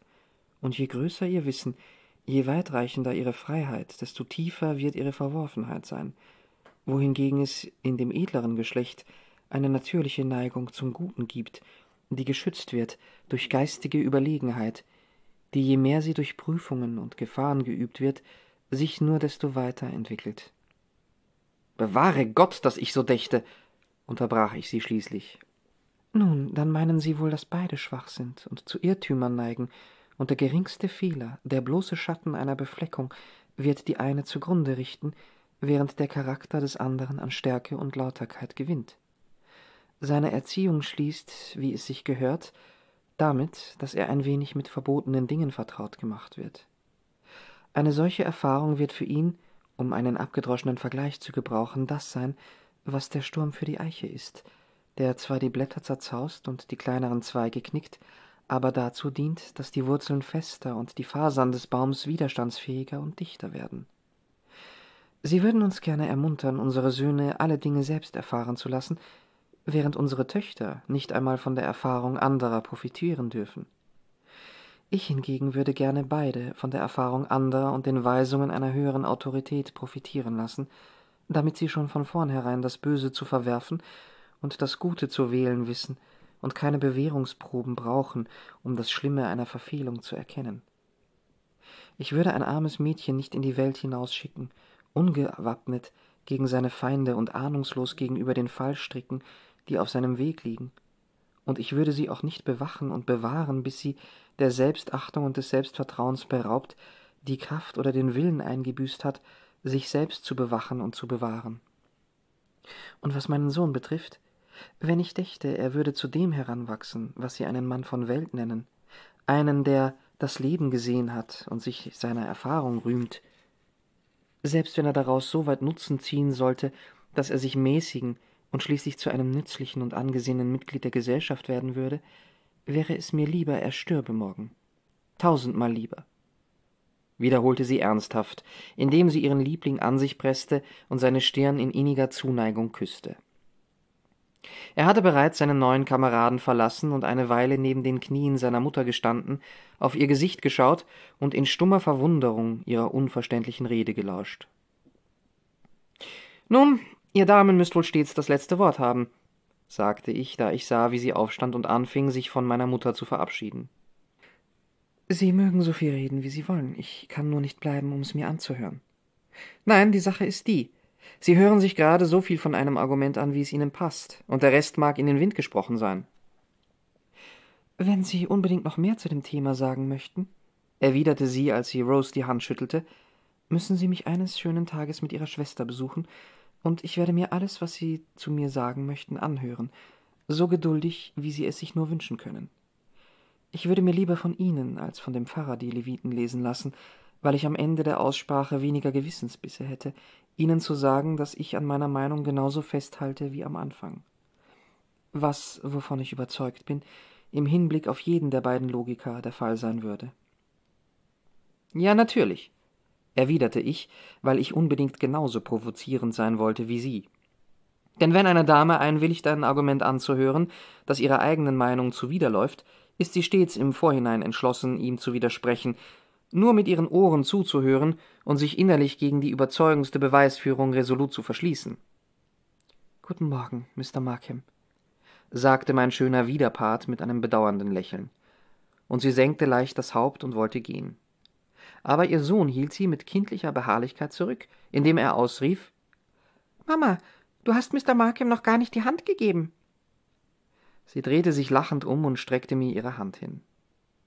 Ich drückte sie nicht ohne Groll, denn ich war verärgert über das dauernde Unrecht, das sie mir von unserer allerersten Begegnung an angetan hatte. Ohne irgendetwas von meiner tatsächlichen Wesensart und meinen Grundsätzen zu wissen, hegte sie offensichtlich Vorurteile gegen mich und schien es darauf anzulegen, mir zu zeigen, dass ihre Meinung über mich in jeder Einzelheit weit hinter der zurückblieb, die ich selbst von mir hatte. Ich war von Natur aus überempfindlich, sonst hätte es mich nicht so sehr erbost. Vielleicht war ich auch ein klein wenig verdorben durch meine Mutter und meine Schwester und einige andere Damen aus meiner Bekanntschaft. Und doch war ich keineswegs ein eitler Narr, wovon ich absolut überzeugt bin, ob du es glaubst oder nicht. Kapitel 4 Die Abendgesellschaft Ungeachtet Mrs. Grahams Weigerung, uns mit ihrer Anwesenheit zu beehren, ging unsere Abendgesellschaft am 4. November recht gut über die Bühne. Ja, wahrscheinlich wäre es in ihrer Gegenwart weniger herzlich, unbeschwert und ausgelassen zugegangen als ohne sie. Wie gewöhnlich war meine Mutter gut gelaunt und gesprächig, überaus geschäftig und zuvorkommend, und nur darin zu tadeln, dass sie allzu bemüht war, ihre Gäste zufriedenzustellen, wodurch sie etliche von ihnen zwang, Dinge zu tun, die diese aus tiefster Seele verabscheuten, in Bezug auf Essen und Trinken, gegenüber dem hell lodernden Kaminfeuer zu sitzen oder zu sprechen, wenn sie eigentlich schweigen wollten. Trotzdem ertrugen sie es recht gut, waren sie doch alle in Festtagslaune. Mr. Millward tat sich mächtig hervor mit gewichtigen Maximen und betulichen Scherzen, salbungsvollen Anekdoten und orakelhaften Aussprüchen, die er zur Erbauung der ganzen Versammlung im Allgemeinen und für die ihn bewundernde Mrs. Markham, den höflichen Mr. Lawrence, die ernste Mary Millward, den stillen Richard Wilson und den nüchternen Robert im Besonderen zum Besten gab, da sie die aufmerksamsten Zuhörer waren Mrs. Wilson brillierte mehr denn je mit ihrem Vorrat an neuesten Neuigkeiten und alten Skandalen, miteinander verknüpft durch banale Fragen und Bemerkungen sowie oft wiederholte Beobachtungen, die anscheinend nur in der Absicht vorgebracht wurden, ihrem unermüdlichen Mundwerk ja keinen Augenblick Ruhe zu gönnen.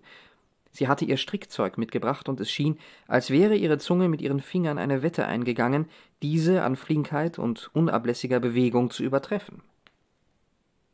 Ihre Tochter Jane gab sich natürlich so charmant und vornehm, so geistreich und verführerisch, wie sie es nur vermochte, galt es doch sämtliche anwesende Damen in den Schatten zu stellen und sämtliche Herren zu bezirzen, und besonders Mr. Lawrence zu erobern und sich ihn gefügig zu machen.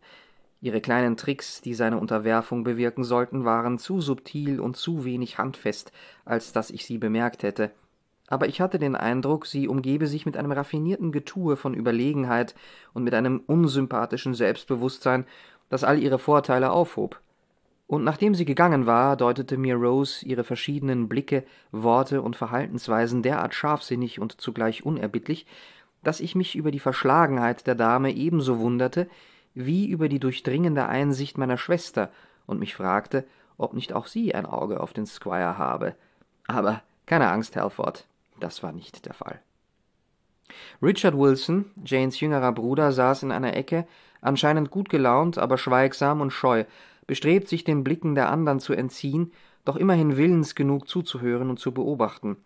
Und obwohl er nicht so recht in seinem Element war, wäre er doch auf seine stille Art recht glücklich gewesen, wenn meine Mutter ihn hätte in Ruhe lassen können.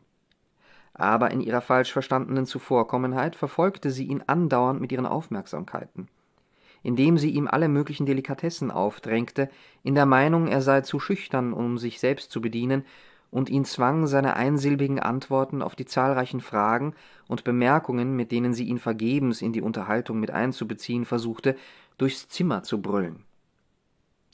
Rose teilte mir mit, dass er uns nur auf eindringliches Bitten seiner Schwester Jane hin mit seiner Gesellschaft beehrt hatte, dem Mr. Lawrence unbedingt beweisen wollte, dass sie zumindest einen Bruder habe, dem mehr von einem Gentleman anhafte, und der kultivierter war als Robert. Mit dem gleichen Eifer hatte sie diesen ehrenwerten Menschen fernzuhalten versucht, aber er versicherte, er sehe keinen Grund, weshalb er sich nicht einer Plauderei mit Markham und der alten Dame tatsächlich war meine Mutter noch keineswegs alt und der munteren Miss Rose und dem Pfarrer ebenso erfreuen sollte wie jeder andere. Und damit hatte er auch recht.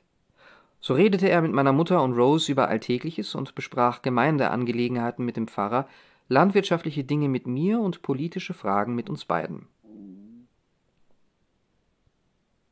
Ein weiterer stummer Gast war Mary Millward. Man setzte ihr nicht mit ebensolch gnadenloser Freundlichkeit zu wie Dick Wilson, weil sie eine ganz bestimmte, kurze, entschiedene Art hatte, etwas zu beantworten und abzulehnen und eher für störrisch als für schüchtern gehalten wurde. Wie dem auch sein mochte, sie trug gewiss nicht viel zur Freude der Gesellschaft bei und schien auch nicht viel aus dieser zu schöpfen. Eliza erzählte mir, sie sei nur gekommen, weil ihr Vater darauf bestand, da er es sich in den Kopf gesetzt habe, dass sie sich zu ausschließlich ihren Haushaltspflichten widme und dadurch solche Zerstreuungen und unschuldigen Vergnügungen versäume, die sich für ihr Alter und ihr Geschlecht durchaus schickten. Insgesamt machte sie jedoch einen leidlich gut gelaunten Eindruck. Ein oder zweimal brachte sie der witzige Einfall oder der Frohsinn einiger Günstlinge unter uns zum Lachen, und dann bemerkte ich, wie sie den Blick Richard Wilsons suchte, der ihr gegenüber saß. Als er bei ihrem Vater Unterricht hatte, war sie etwas mit ihm bekannt geworden, trotz der zurückhaltenden Lebensgewohnheiten der beiden, und ich vermute, es hatte sich zwischen ihnen eine Art von Zusammengehörigkeitsgefühl herausgebildet. Meine Eliza war unbeschreiblich bezaubernd, kokett, ohne affektiert zu sein und augenscheinlich mehr darauf aus, meine Aufmerksamkeit zu fesseln als die aller anderen im Zimmer.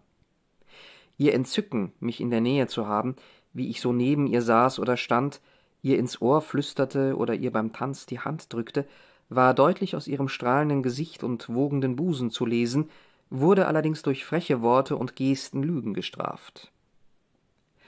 Aber ich sollte lieber meine Zunge im Zaum halten. Wenn ich mich jetzt dieser Dinge rühme, werde ich deswegen später womöglich vor Scham darüber erröten müssen. Doch nun zu den anderen Teilnehmern unserer Abendgesellschaft. Rose war schlicht und natürlich wie immer und voll Frohsinn und Lebhaftigkeit. Fergus war unverschämt und albern. Aber seine Unverschämtheit und Alberei brachte andere zum Lachen, wenn er dadurch nicht sogar in ihrer Achtung stieg. Und endlich, denn von mir will ich nicht sprechen, Mr. Lawrence. Er war ein richtiger Gentleman und nett gegenüber jedermann, höflich zum Pfarrer und den Damen, besonders zu seiner Gastgeberin und ihrer Tochter sowie Miss Wilson, der irregeleitete Mann. Er hatte nicht den Geschmack, Eliza den Vorzug zu geben. Mr. Lawrence und ich standen auf einigermaßen vertrautem Fuß. Im Wesentlichen reservierter Art und nur selten den abgeschiedenen Ort seiner Geburt verlassend, wo er seit dem Tode seines Vaters für sich allein lebte, hatte er weder Gelegenheit noch Neigung, viele Bekanntschaften zu knüpfen, und von all denen, die er je gekannt hatte, war ich, nach seinem Verhalten zu urteilen, der Kamerad, der ihm am meisten entsprach. Ich mochte den Mann durchaus recht gern, aber er war zu kühl und zurückhaltend und in sich verschlossen, um sich meiner herzlichen Sympathie erfreuen zu können. Eine offene und freimütige Art, wenn sie mit keinerlei Grobheit einherging, bewunderte er bei anderen durchaus, aber er selbst konnte sie sich nicht aneignen. Seine übermäßige Zurückhaltung in all seinen eigenen Belangen war ziemlich empörend und abweisend. Aber ich entschuldigte sie aus der Überzeugung heraus, dass sie weniger Stolz und mangelndem Vertrauen in seine Freunde entsprang, als einem in gewissem Sinne krankhaften Taktgefühl und einer eigentümlichen Schüchternheit, deren er sich zwar bewusst war, zu deren Überwindung es ihm aber an Kraft und Entschiedenheit fehlte. Sein Herz war wie eine empfindliche Pflanze, die sich bei Sonnenschein einen Augenblick lang öffnet, aber bei der geringsten Berührung mit dem Finger oder durch den leichtesten Windhauch in sich zusammenrollt und verschließt. Und alles in allem genommen war unsere Vertrautheit eher eine gegenseitige Achtung als eine tiefe und echte Freundschaft, so wie sie sich zwischen mir und dir, Halford, seither entwickelt hat, die ich, trotz unserer gelegentlichen Grobheiten, mit nichts besser vergleichen kann als mit einem alten Mantel, untadelig im Gewebe, aber leicht und lose, der sich der Gestalt des Trägers angepasst hat und den dieser verwenden kann, wie es ihm beliebt, ohne sich mit der Angst abgeben zu müssen, ihn zu beschädigen wohingegen Mr. Lawrence wie ein neues Kleidungsstück ist, ganz gefällig und gut passend anzusehen, aber so eng sitzend am Ärmel, dass man bei einer unvorsichtigen Bewegung der Arme fürchten würde, die Säume aufzureißen, und so glatt und fein auf der Oberfläche, dass man Bedenken hat, es auch nur einem einzigen Regentropfen auszusetzen.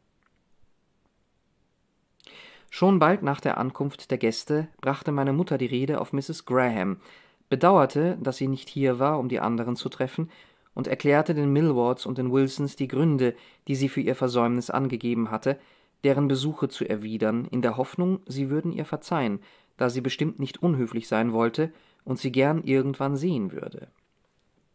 Aber sie ist schon eine sehr eigenartige Dame, Mr. Lawrence, fügte sie hinzu. Wir wissen nicht so recht, was wir von ihr halten sollen. Aber ich möchte wohl meinen, Sie können uns etwas mehr über sie erzählen, denn sie ist ja Ihre Pächterin, und sie sagte, sie kenne sie ein wenig. Alle Augen waren auf Mr. Lawrence gerichtet. Ich hatte den Eindruck, er blickte reichlich verwirrt drein, als man ihn so ansprach. Ich, Mrs. Markham? sagte er. Sie irren sich, ich kenne Sie nicht. Das heißt, gewiss habe ich Sie gesehen, aber ich bin der Letzte, den Sie fragen sollten, um etwas über Mrs. Graham zu erfahren. Darauf wandte er sich unverzüglich an Rose und bat sie, die Gesellschaft mit einem Lied oder einem Stück auf dem Klavier zu erfreuen. Nein, sagte sie, Sie müssen Miss Wilson bitten. Sie stellt uns alle in den Schatten, was das Singen und auch das Musizieren betrifft. Mrs. Wilson sträubte sich dagegen. Sie wird nur zu gern singen, sagte Fergus. Wenn Sie es auf sich nehmen, neben ihr zu stehen, Mr. Lawrence, und die Seiten für Sie umzublättern. Ich werde überaus glücklich sein, das zu tun, Miss Wilson. Wollen Sie es mir gestatten? Sie reckte ihren langen Hals und lächelte und ließ sich von ihm zum Instrument führen, wo sie in ihrem allerbesten Stil ein Stück nach dem anderen spielte und sang. Während er geduldig daneben stand, eine Hand auf die Lehne ihres Stuhls gestützt und mit der anderen die Seiten ihres Notenhefts umblätterte. Vielleicht war er von ihrem Vortrag ebenso bezaubert wie sie selbst. Es war alles recht hübsch in seiner Art aber ich kann nicht sagen, dass es mich sehr tief bewegt hätte. Es lag viel Geschick und Vortragstechnik darin, aber recht wenig Gefühl. Doch wir waren mit Mrs. Graham noch nicht fertig. Ich nehme keinen Wein, Mrs. Markham, sagte Mr. Millward, als die Getränke aufgetragen wurden. Ich nehme etwas von Ihrem selbstgebrauten Bier. Ich ziehe Ihr selbstgebrautes stets allem anderen vor. Von diesem Kompliment geschmeichelt, zog meine Mutter die Klingel, und sogleich wurde ein Porzellankrug mit bestem Ale gebracht und vor den ehrenwerten Gentleman hingestellt, der die Vorzüge desselben so wohl zu schätzen wusste. Nun, das ist genau das Richtige, rief er, indem er sich in einem langen, geschickt von dem Krug in den Becher gelenkten Strahl ein Glas davon einschenkte, so dass er viel Schaum erzeugte, ohne einen einzigen Tropfen zu verplempern und nachdem er es einen Augenblick gegen die Kerze gehalten und betrachtet hatte, nahm er einen gehörigen Schluck, und dann schmatzte er mit den Lippen, holte tief Luft und füllte sein Glas aufs neue, wobei meine Mutter mit größter Befriedigung zusah. Es gibt nichts, was dem gleichkäme, Mr. Markham, sagte er. Ich behaupte immer, dass sich nichts mit Ihrem selbstgebrauten Bier vergleichen lässt. Ich freue mich wirklich, dass Sie es mögen, Sir. Ich kümmere mich stets selbst um das Brauen, genauso wie um den Käse und um die Butter. Ich habe es gern, wenn alles gut gemacht wird, solange wir noch da sind. Ganz recht, Mrs. Markham. Aber dann, Mr. Millward, halten Sie es nicht für falsch, ab und zu ein wenig Wein zu trinken oder auch ein bisschen Schnaps sagte meine Mutter, als sie einen dampfenden Krug mit Grog Mrs. Wilson hinreichte, die versicherte, dass ihr Wein immer auf den Magen schlage und deren Sohn Robert sich in diesem Augenblick ein tüchtiges Glas von diesem Gebräu einschenkte. Keineswegs, erwiderte das Orakel mit einem gnädigen Kopfnicken. Das sind alles segensreiche Wohltaten, wenn wir nur den rechten Gebrauch davon zu machen wissen. Aber Mrs. Graham ist nicht dieser Meinung. Sie hätten nur hören sollen, wie sie sich neulich darüber äußerte. Ich sagte ihr, dass ich es Ihnen erzählen würde. Und meine Mutter beehrte die Anwesenden mit einem ausführlichen Bericht über die irrigen Vorstellungen und Verhaltensweisen jener Dame, die vorliegende Angelegenheit betreffend, und beendete ihn mit Nun, finden Sie nicht auch, dass das falsch ist? Falsch, wiederholte der Pfarrer mit einer über das Gewohnte hinausgehenden Feierlichkeit. Sträflich, würde ich sagen, sträflich. Das heißt nicht nur aus dem Jungen einen Dummkopf machen, sondern das heißt, die Gaben der Vorsehung verschmähen und ihn lehren, sie mit Füßen zu treten. Sodann ging er ausführlicher auf die Frage ein und erklärte des Langen und Breiten, wie dumm und gottlos eine solche Maßnahme sei. Meine Mutter hörte ihm mit größter Ehrfurcht zu, und sogar Mrs. Wilson ließ sich herab, ihrer Zunge einen Augenblick lang Einhalt zu gebieten und schweigend zu lauschen, während sie selbst zufrieden ihren Grog schlürfte. Mr. Lawrence saß da, den Ellbogen auf den Tisch gestützt, achtlos mit seinem halbleeren Weinglas spielend und verstohlen in sich hineinlächelnd. Aber meinen Sie nicht, Mr. Millward, warf er ein, als dieser Herr schließlich seine Rede unterbrach, dass, wenn ein Kind vielleicht von Natur aus zur Unmäßigkeit neigt, durch die Schuld seiner Eltern oder Vorfahren zum Beispiel, dass da nicht einige Vorsichtsmaßnahmen ratsam sind? Nun wurde ja allgemein angenommen, dass Mr. Lawrences Vater sein Leben durch Unmäßigkeit verkürzt hatte. Einige Vorsichtsmaßnahmen, das mag wohl sein, aber Mäßigung ist eine Sache und Abstinenz eine andere. Aber ich habe gehört, dass bei manchen Menschen Mäßigkeit, das heißt Maß halten, fast unmöglich ist. Und wenn Abstinenz ein Übel sein soll, was einige bezweifelt haben, wird wohl niemand leugnen, dass der Exzess ein noch größeres ist. Einige Eltern haben ihren Kindern gänzlich verboten, berauschende Getränke zu kosten, aber die Autorität eines Elternteils kann nicht ewig währen. Und ist das etwa richtig, Sir? Habe ich Ihnen nicht dargetan, wie falsch es ist, wie sehr wieder die Schrift und die Vernunft ein Kind zu lehren, dass es mit Abscheu auf die Wohltaten der Vorsehung blickt, anstatt sie richtig zu gebrauchen? Sie mögen Laudanum für ein Geschenk der Vorsehung halten, Sir, erwiderte Mr. Lawrence lächelnd. Und dennoch werden Sie zugeben, dass die meisten von uns sich dessen und selbst in Maßen genossen besser enthalten, aber, fügte er hinzu, ich möchte nicht, dass Sie mein Lächeln zu ernst nehmen. Zum Beweis dafür leere ich mein Glas. Und nehmen noch eins, hoffe ich, Mr. Lawrence, sagte meine Mutter und schob ihm die Flasche hin. Höflich verneinte er und lehnte sich, indem er seinen Stuhl etwas vom Tisch wegrückte, nach hinten zu mir. Ich saß in geringfügigem Abstand dahinter auf dem Sofa neben Eliza und fragte mich nachlässig, ob ich Mrs. Graham kenne. Ich bin ihr ein oder zweimal begegnet, erwiderte ich. Was halten Sie von ihr? Ich kann nicht behaupten, dass ich sie besonders mag. Sie ist hübsch, oder ich sollte besser sagen distinguiert und interessant, anzusehen, aber keineswegs liebenswert. Eine Frau, die zu starken Vorurteilen neigt, würde ich meinen, und durch dick und dünn an ihnen festhält, die alles so hinbiegt, dass es in ihre vorgefassten Meinungen passt. Zu hart, zu scharfzüngig, zu herb für meinen Geschmack. Er gab darauf keine Antwort, sondern senkte den Blick und biss sich auf die Lippen, und kurz darauf erhob er sich und schlenderte zu Miss Wilson hin, von mir ebenso abgestoßen wie von ihr angezogen, glaube ich.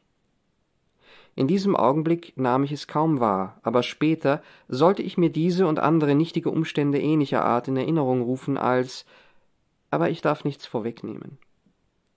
Wir beschlossen den Abend mit Tanzen. Betrachtete es doch unser würdiger Pastor nicht als einen Skandal, bei diesem Ereignis anwesend zu sein, obwohl einer von den Dorfmusikern engagiert war, um unseren Bewegungen mit seiner Geige den Rhythmus vorzugeben. Aber Mary Millward weigerte sich hartnäckig, sich uns anzuschließen, und ebenso Richard Wilson, obzwar ihn meine Mutter inständig bat und sich ihm sogar als Tanzpartnerin anbot. Wir kamen allerdings auch sehr gut ohne sie zurecht. Mit einem einzigen Satz Quadrillen und verschiedenen Ländlern zogen wir das Ganze bis in den späten Abend hin. Und schließlich, nachdem wir unseren Musiker gebeten hatten, zu einem Walzer aufzuspielen, wollte ich gerade Eliza in diesem herrlichen Tanz herumwirbeln, begleitet von Lawrence und Miss Wilson und Fergus und Rose, als Mr. Millward mit den Worten dazwischen trat Nein, nein, das erlaube ich nicht. Komm, es ist jetzt Zeit zu gehen. Oh nein, Papa, bat Eliza. Höchste Zeit, mein Kind, höchste Zeit. Maß halten in allen Dingen, denk daran, das ist der Vorsatz. Mach deine Mäßigung allen Männern deutlich. Aber aus Rache folgte ich Eliza in den schwach beleuchteten Flur, wo ich mich, fürchte ich, unter dem Vorwand, ihr in ihren Umhang zu helfen, schuldig erklären muss, ihr hinter ihres Vaters Rücken einen Kuss auf die Wange gedrückt zu haben, während er seinen Hals und sein Kinn in die Falten eines Wollschals einwickelte. Aber ach, als ich mich umdrehte, stand meine Mutter dicht hinter mir. Die Folge davon war, dass, kaum waren die Gäste gegangen, ich mir eine sehr strenge Strafpredigt anhören musste, die auf recht unfreundliche Weise meinem Übermut Einhalt gebot und den Abend recht unangenehm zum Abschluss brachte.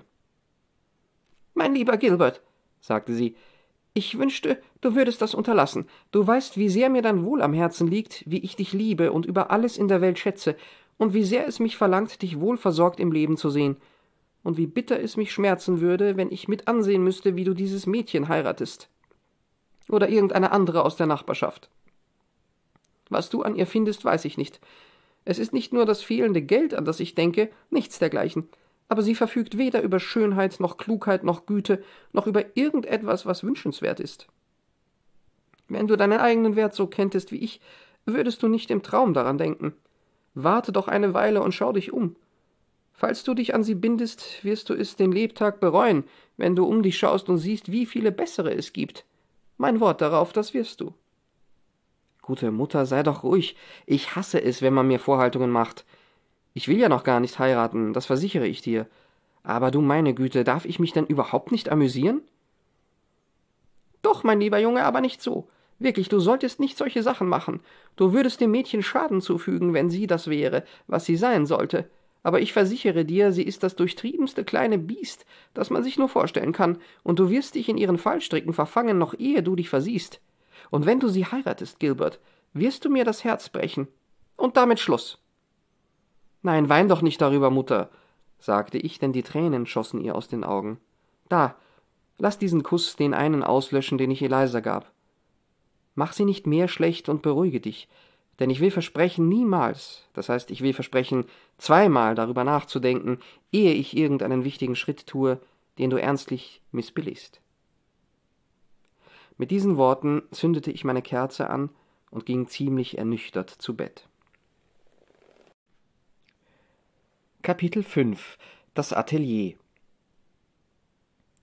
Es war gegen Ende des Monats, als ich schließlich Roses beharrlichen Bitten nachgab und sie bei ihrem Besuch in Wildfell Hall begleitete. Zu unserer Überraschung wurden wir in einen Raum geführt, wo mir als erstes eine Staffelei ins Auge fiel, mit einem Tisch daneben, der mit Rollen von Leinwand, Flaschen mit Öl und Firnis, einer Palette, Pinseln, Farben etc. bedeckt war. An die Wand gelehnt standen etliche Skizzen in unterschiedlichen Stadien der Ausführung und ein paar fertige Gemälde, zumeist mit Landschaften und Personen. Ich muss Sie in meinem Atelier empfangen, sagte Mrs. Graham. Das Wohnzimmer ist heute nicht geheizt und es ist etwas zu kalt, um Sie in ein Gemach mit einem leeren Kaminrost zu führen. Und indem sie zwei Stühle von dem Künstlerkram befreite, von dem sie in Beschlag genommen waren, bat sie uns Platz zu nehmen und nahm ihren eigenen neben der Staffelei wieder ein. Wobei sie sich derselben zwar nicht direkt zuwandte, aber während des Gesprächs ab und zu einen Blick auf das daraufstehende Bild warf und ihm hin und wieder einen Pinselstrich versetzte, als sei es ihr unmöglich, ihre Aufmerksamkeit gänzlich von ihrer Beschäftigung abzuwenden, um sie auf ihre Gäste zu richten. Es handelte sich um eine Ansicht von Wildfell Hall, wie sie sich früh morgens vom darunterliegenden Feld her bot, wenn sich das Haus in dunkler Silhouette gegen den klaren, silbrigen Himmel erhob, mit ein paar roten Streifen am Horizont, naturgetreu gezeichnet und koloriert und sehr geschmackvoll und gekonnt ausgeführt. Ich sehe, Sie sind mit dem Herzen ganz bei Ihrer Arbeit, Mrs. Graham, bemerkte ich. Ich darf Sie bitten, damit weiterzumachen, denn wenn Sie sich durch unsere Gegenwart unterbrechen lassen, werden wir uns wohl oder übel als ungebetene Eindringlinge betrachten. Oh nein, erwiderte sie, indem sie ihren Pinsel auf den Tisch warf, als besinne sie sich plötzlich auf ihre Höflichkeitspflichten. Ich werde nicht so von Besuchern belagert, dass ich für die wenigen, die mir die Gunst ihrer Gesellschaft erweisen, nicht bereitwillig ein paar Minuten erübrigen könnte. Sie haben Ihr Gemälde fast vollendet, sagte ich, wobei ich hinzutrat, um es aus der Nähe zu betrachten und es mit einem höheren Maß an Bewunderung und Entzücken zu mustern, als ich mich bemühte, zum Ausdruck zu bringen. Noch ein paar Pinselstriche im Vordergrund und es wird fertig sein, würde ich wohl meinen. Aber warum haben Sie es Fernley Manor Cumberland genannt, anstatt Wildfell Hall? fragte ich unter Anspielung auf den Titel, den sie in kleinen Buchstaben am unteren Rand der Leinwand hingeschrieben hatte. Aber sofort wurde mir bewusst, dass ich mit dieser Frage eine Unverschämtheit begangen hatte, denn sie errötete und zögerte. Doch nach einer kurzen Pause erwiderte sie mit einer Art verzweifelter Aufrichtigkeit Weil ich Freunde, Bekannte zumindest, auf der Welt habe, vor denen ich meinen gegenwärtigen Aufenthaltsort verborgen halten möchte, und da Sie vielleicht das Bild sehen und möglicherweise den Stil erkennen könnten, trotz der falschen Initialen, die ich in die Ecke geschrieben habe, so greife ich zu der Vorsichtsmaßnahme, dem Ort auch einen falschen Namen zu geben, um Sie auf eine falsche Fährte zu locken, wenn Sie versuchen sollten, mich darüber ausfindig zu machen. Dann wollen Sie also das Bild nicht für sich behalten? fragte ich in dem Bestreben, irgendetwas zu sagen, um das Thema zu wechseln. Nein, ich kann es mir nicht leisten, zu meinem eigenen Vergnügen zu malen. Mama schickt all ihre Bilder nach London, sagte Arthur, und dort verkauft sie jemand für sie und schickt uns das Geld. Als ich den Blick über die anderen Stücke schweifen ließ, entdeckte ich eine hübsche Skizze von Lindenhope vom Gipfel des Hügels aus gesehen. Eine weitere Ansicht des alten Herrenhauses, wie es im flirrenden Licht eines ruhigen Sommernachmittags dalag, und ein schlichtes und dennoch bemerkenswertes kleines Bild mit einem Kind, das ruhig dreinschauend, aber mit einem Ausdruck tiefen und kummervollen Bedauerns über eine Handvoll verwelkter Blumen grübelt, mit flüchtigen Andeutungen dunkler, niedriger Hügel und herbstlicher Felder als Hintergrund und einem düsteren, bewölkten Himmel darüber. Sie sehen, es herrscht hier ein trauriger Mangel an Motiven bemerkte die schöne Künstlerin. Einmal habe ich den alten Herrensitz in einer Vollmondnacht gemalt, und ich werde ihn wohl erneut an einem verschneiten Wintertag aufs Papier bringen und dann wieder an einem dunklen, wolkenverhangenen Abend, denn ich habe sonst wirklich nichts zu malen. Man hat mir erzählt, dass man irgendwo in der Umgebung einen schönen Blick aufs Meer hat. Stimmt das? Und ist denn diese Stelle zu Fuß zu erreichen? Ja, wenn Sie nichts dagegen haben, vier Meilen zu laufen, oder beinahe so weit, etwas weniger als acht Meilen hin und zurück, und über eine etwas unwegsame, anstrengende Straße. In welcher Richtung liegt der Ort? Ich beschrieb ihr die Lage so gut ich konnte und machte mich gerade an einer Erklärung der verschiedenen Straßen, Wege und Felder, die man durchqueren musste, um dorthin zu gelangen, wo man geradeaus gehen müsse und nach rechts und nach links, als sie mich unterbrach Oh, hören Sie auf damit. Erzählen Sie mir das nicht jetzt. Ich werde jedes Wort Ihrer Erklärungen vergessen, ehe ich sie brauche. Vor dem nächsten Frühjahr ist bestimmt nicht daran zu denken, und dann darf ich Sie vielleicht darum bemühen. Gegenwärtig haben wir noch den Winter vor uns, und Sie hielt plötzlich inne, sprang mit einem unterdrückten Ausruf von ihrem Sitz auf und sagte Entschuldigen Sie mich einen Augenblick, eilte aus dem Zimmer und schloss die Tür hinter sich.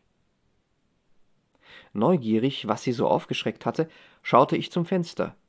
Denn ihr Blick war kurz zuvor unbedacht darauf gerichtet gewesen und sah eben die Schöße eines Männerrocks hinter einem großen Stechpalmenstrauch verschwinden, der zwischen dem Fenster und dem Portikus stand. Das ist Mamas Freund, sagte Arthur. Rose und ich sahen einander an. Ich weiß nicht, was ich von ihr halten soll, flüsterte Rose. Das Kind blickte sie mit ernstem Staunen an. Sogleich begann sie, mit ihm über belanglose Dinge zu plaudern, während ich mir mit dem Betrachten der Bilder die Zeit vertrieb. Da stand eines in einem dunklen Winkel, das ich zuvor noch nicht beachtet hatte. Es stellte ein kleines Kind dar, das im Grase saß, den Schoß voller Blumen. Die winzigen Gesichtszüge und großen blauen Augen, wie sie durch eine Flut hellbrauner Locken lächelten, die über die Stirn fiel, als es sich über seinen Schatz beugte, wiesen genügend Ähnlichkeit mit denen des jungen Herrn vor mir auf, um es als ein Porträt Arthur Grahams in seiner frühen Kindheit erscheinen zu lassen. Indem ich es hochhob, um es ans Licht zu halten, entdeckte ich ein anderes dahinter, das mit der Vorderseite gegen die Wand lehnte. Ich wagte es, auch dieses hochzuheben. Es war das Porträt eines vornehmen Herrn in den vollen Blüten seiner frühen Mannesjahre, recht ansehnlich und nicht schlecht ausgeführt, aber wenn es von derselben Hand wie die anderen stammte, lag es offensichtlich einige Jahre zurück, denn hier zeigte sich eine weit sorgfältigere Detailgenauigkeit, und weniger von jener Frische der Farbgebung und Freiheit der künstlerischen Darstellung, die mich an ihnen so entzückte und erstaunte. Nichtsdestoweniger betrachtete ich es mit nicht geringem Interesse. In den Gesichtszügen und im Ausdruck lag eine bestimmte Individualität, die ihm zugleich den Stempel einer gelungenen Wirklichkeitstreue aufdrückte. Die strahlenden blauen Augen sahen den Betrachter mit einer Art versteckter Schalkhaftigkeit an. Man erwartete fast, dass sie gleich blinzeln würden. Die Lippen, von etwas allzu sinnlicher Fülle, schienen sich gleich zu einem Lächeln verziehen zu wollen.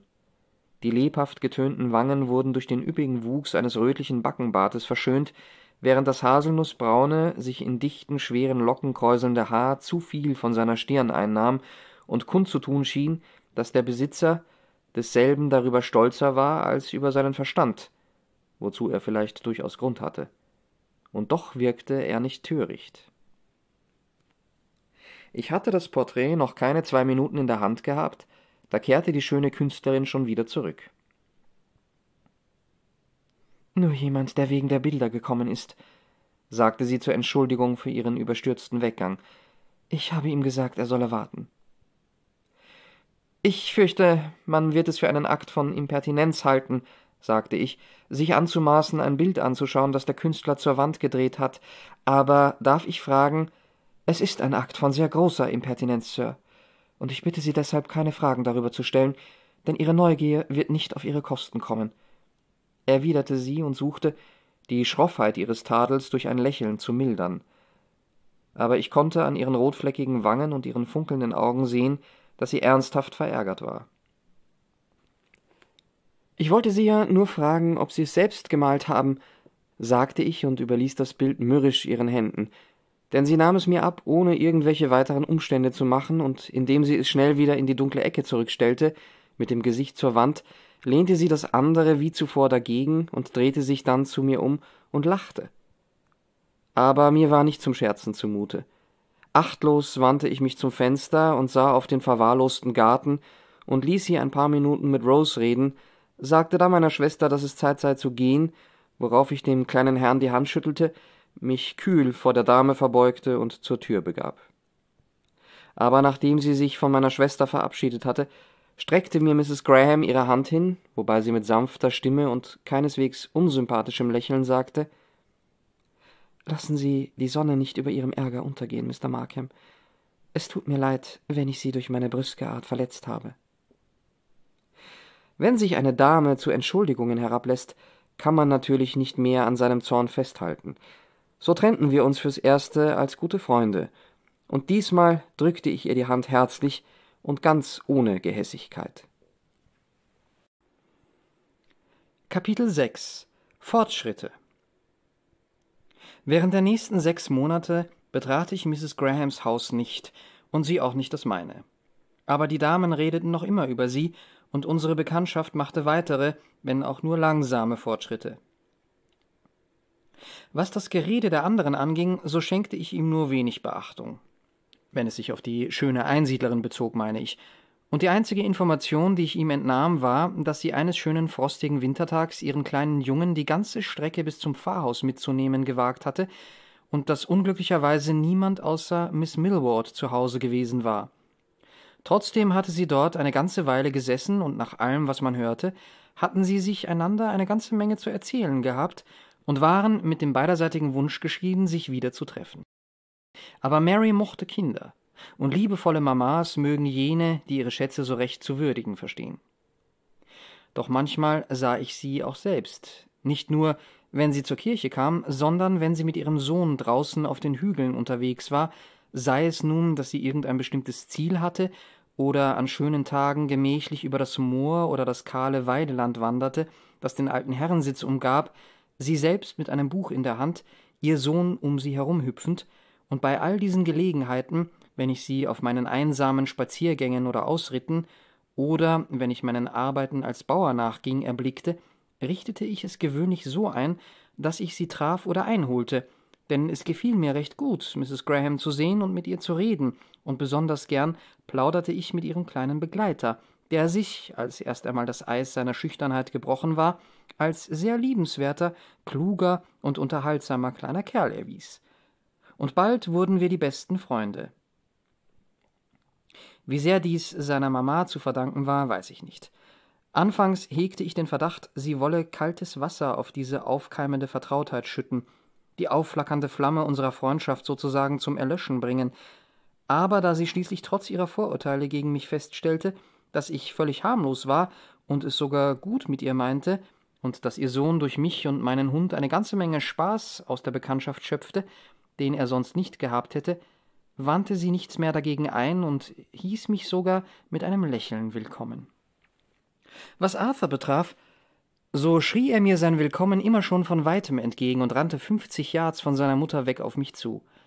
Wenn ich zufällig zu Pferd war, konnte er sicher sein, zu einem kleinen Kanter oder Galopp zu kommen, oder wenn eines der Zugpferde in erreichbarer Entfernung stand, wurde ihm ein gemächlicher Ritt auf diesem spendiert, was ihm fast ebenso gut gefiel. Aber seine Mutter folgte uns stets und lief neben ihm her, nicht so sehr, glaube ich, um für seine Sicherheit zu sorgen, als um darauf zu achten, dass ich seinem kindlichen Gemüt keine anstößigen Ideen einflöße. Denn sie war stets auf der Hut und ließ es niemals zu, dass man ihn ihr aus dem Blickfeld entführte. Am allerliebsten sah sie ihn mit Sancho herumrennen und sich balgen, während ich neben ihr herging. Nicht so sehr, fürchte ich, weil sie meine Gesellschaft gern hatte, obwohl ich mich manchmal dieser Selbsttäuschung hingab, sondern aus Freude, ihren Sohn so glücklich in diesen vergnüglichen Zeitvertreib vertieft zu sehen, der seinen zarten Körper so kräftigte, doch so selten ausgeübt wurde, da es ihm an Spielgefährten in seinem Alter mangelte. Und vielleicht wurde ihre Freude nicht wenig durch den Umstand versüßt, dass ich bei ihr statt bei ihm war und ihm deshalb weder direkt noch indirekt, absichtlich oder unbewusst Schaden zufügen konnte, und das alles dank ihrer Gegenwart aber bisweilen, glaube ich, genoss sie die Unterhaltung mit mir wirklich ein bisschen. Und eines strahlenden Februarmorgens, als wir zwanzig Minuten lang durchs Moor schlenderten, legte sie ihre übliche Schroffheit und Zurückhaltung ab und ließ sich ernsthaft auf ein Gespräch mit mir ein, wobei sie mit so viel Beredsamkeit und gedanklicher sowie emotionaler Tiefe ihre Ansichten über ein Thema vortrug, die glücklicherweise mit meinen eigenen Vorstellungen genau übereinstimmten und sie obendrein noch so wunderschön aussah, dass ich ganz verzaubert nach Hause ging. Und auf dem Weg stutzte ich, innerlich, als ich mich bei dem Gedanken ertappte, dass es nach alledem vielleicht besser sei, einen Tag mit einer solchen Frau zu verbringen, als mit Eliza Millward. Und dann errötete ich, im übertragenen Sinn, wegen meiner Untreue. Als ich den Salon betrat, traf ich dort Eliza und Rose an und sonst keinen Menschen. Die Überraschung war durchaus nicht so angenehm, wie sie es hätte sein sollen. Wir plauderten eine ganze Weile miteinander, aber ich fand sie recht oberflächlich und sogar ein bisschen fade, verglichen mit der reiferen und ernsten Mrs. Graham. Ach, wie unbeständig ist doch der Mensch. Wie dem auch sei, dachte ich bei mir, ich sollte Eliza Millward nicht heiraten, da meine Mutter so sehr dagegen ist, und ich sollte dem Mädchen auch nicht vormachen, dass ich die Absicht dazu habe. Nun, wenn diese Stimmung anhält, wird es mir nicht so schwer fallen, meine Gefühle aus ihrer sanften, doch unerbittlichen Gewalt zu befreien. Und ob zwar es gegen Mrs. Graham vielleicht ebenso viel einzuwenden gibt, mag man mir wohl, wie den Ärzten erlauben, ein größeres Übel mit einem geringeren zu kurieren, denn ich werde mich, denke ich, in die junge Witwe nicht ernstlich verlieben und sie sich ebenso wenig in mich, das ist gewiss, aber wenn ich in ihrer Gesellschaft etwas Freude finde, so wird man mir wohl zugestehen, sie zu suchen. Und wenn der Stern ihrer Göttlichkeit hell genug ist, um den Glanz von Elisas Stern zu überstrahlen, umso besser. Aber ich kann es mir kaum vorstellen.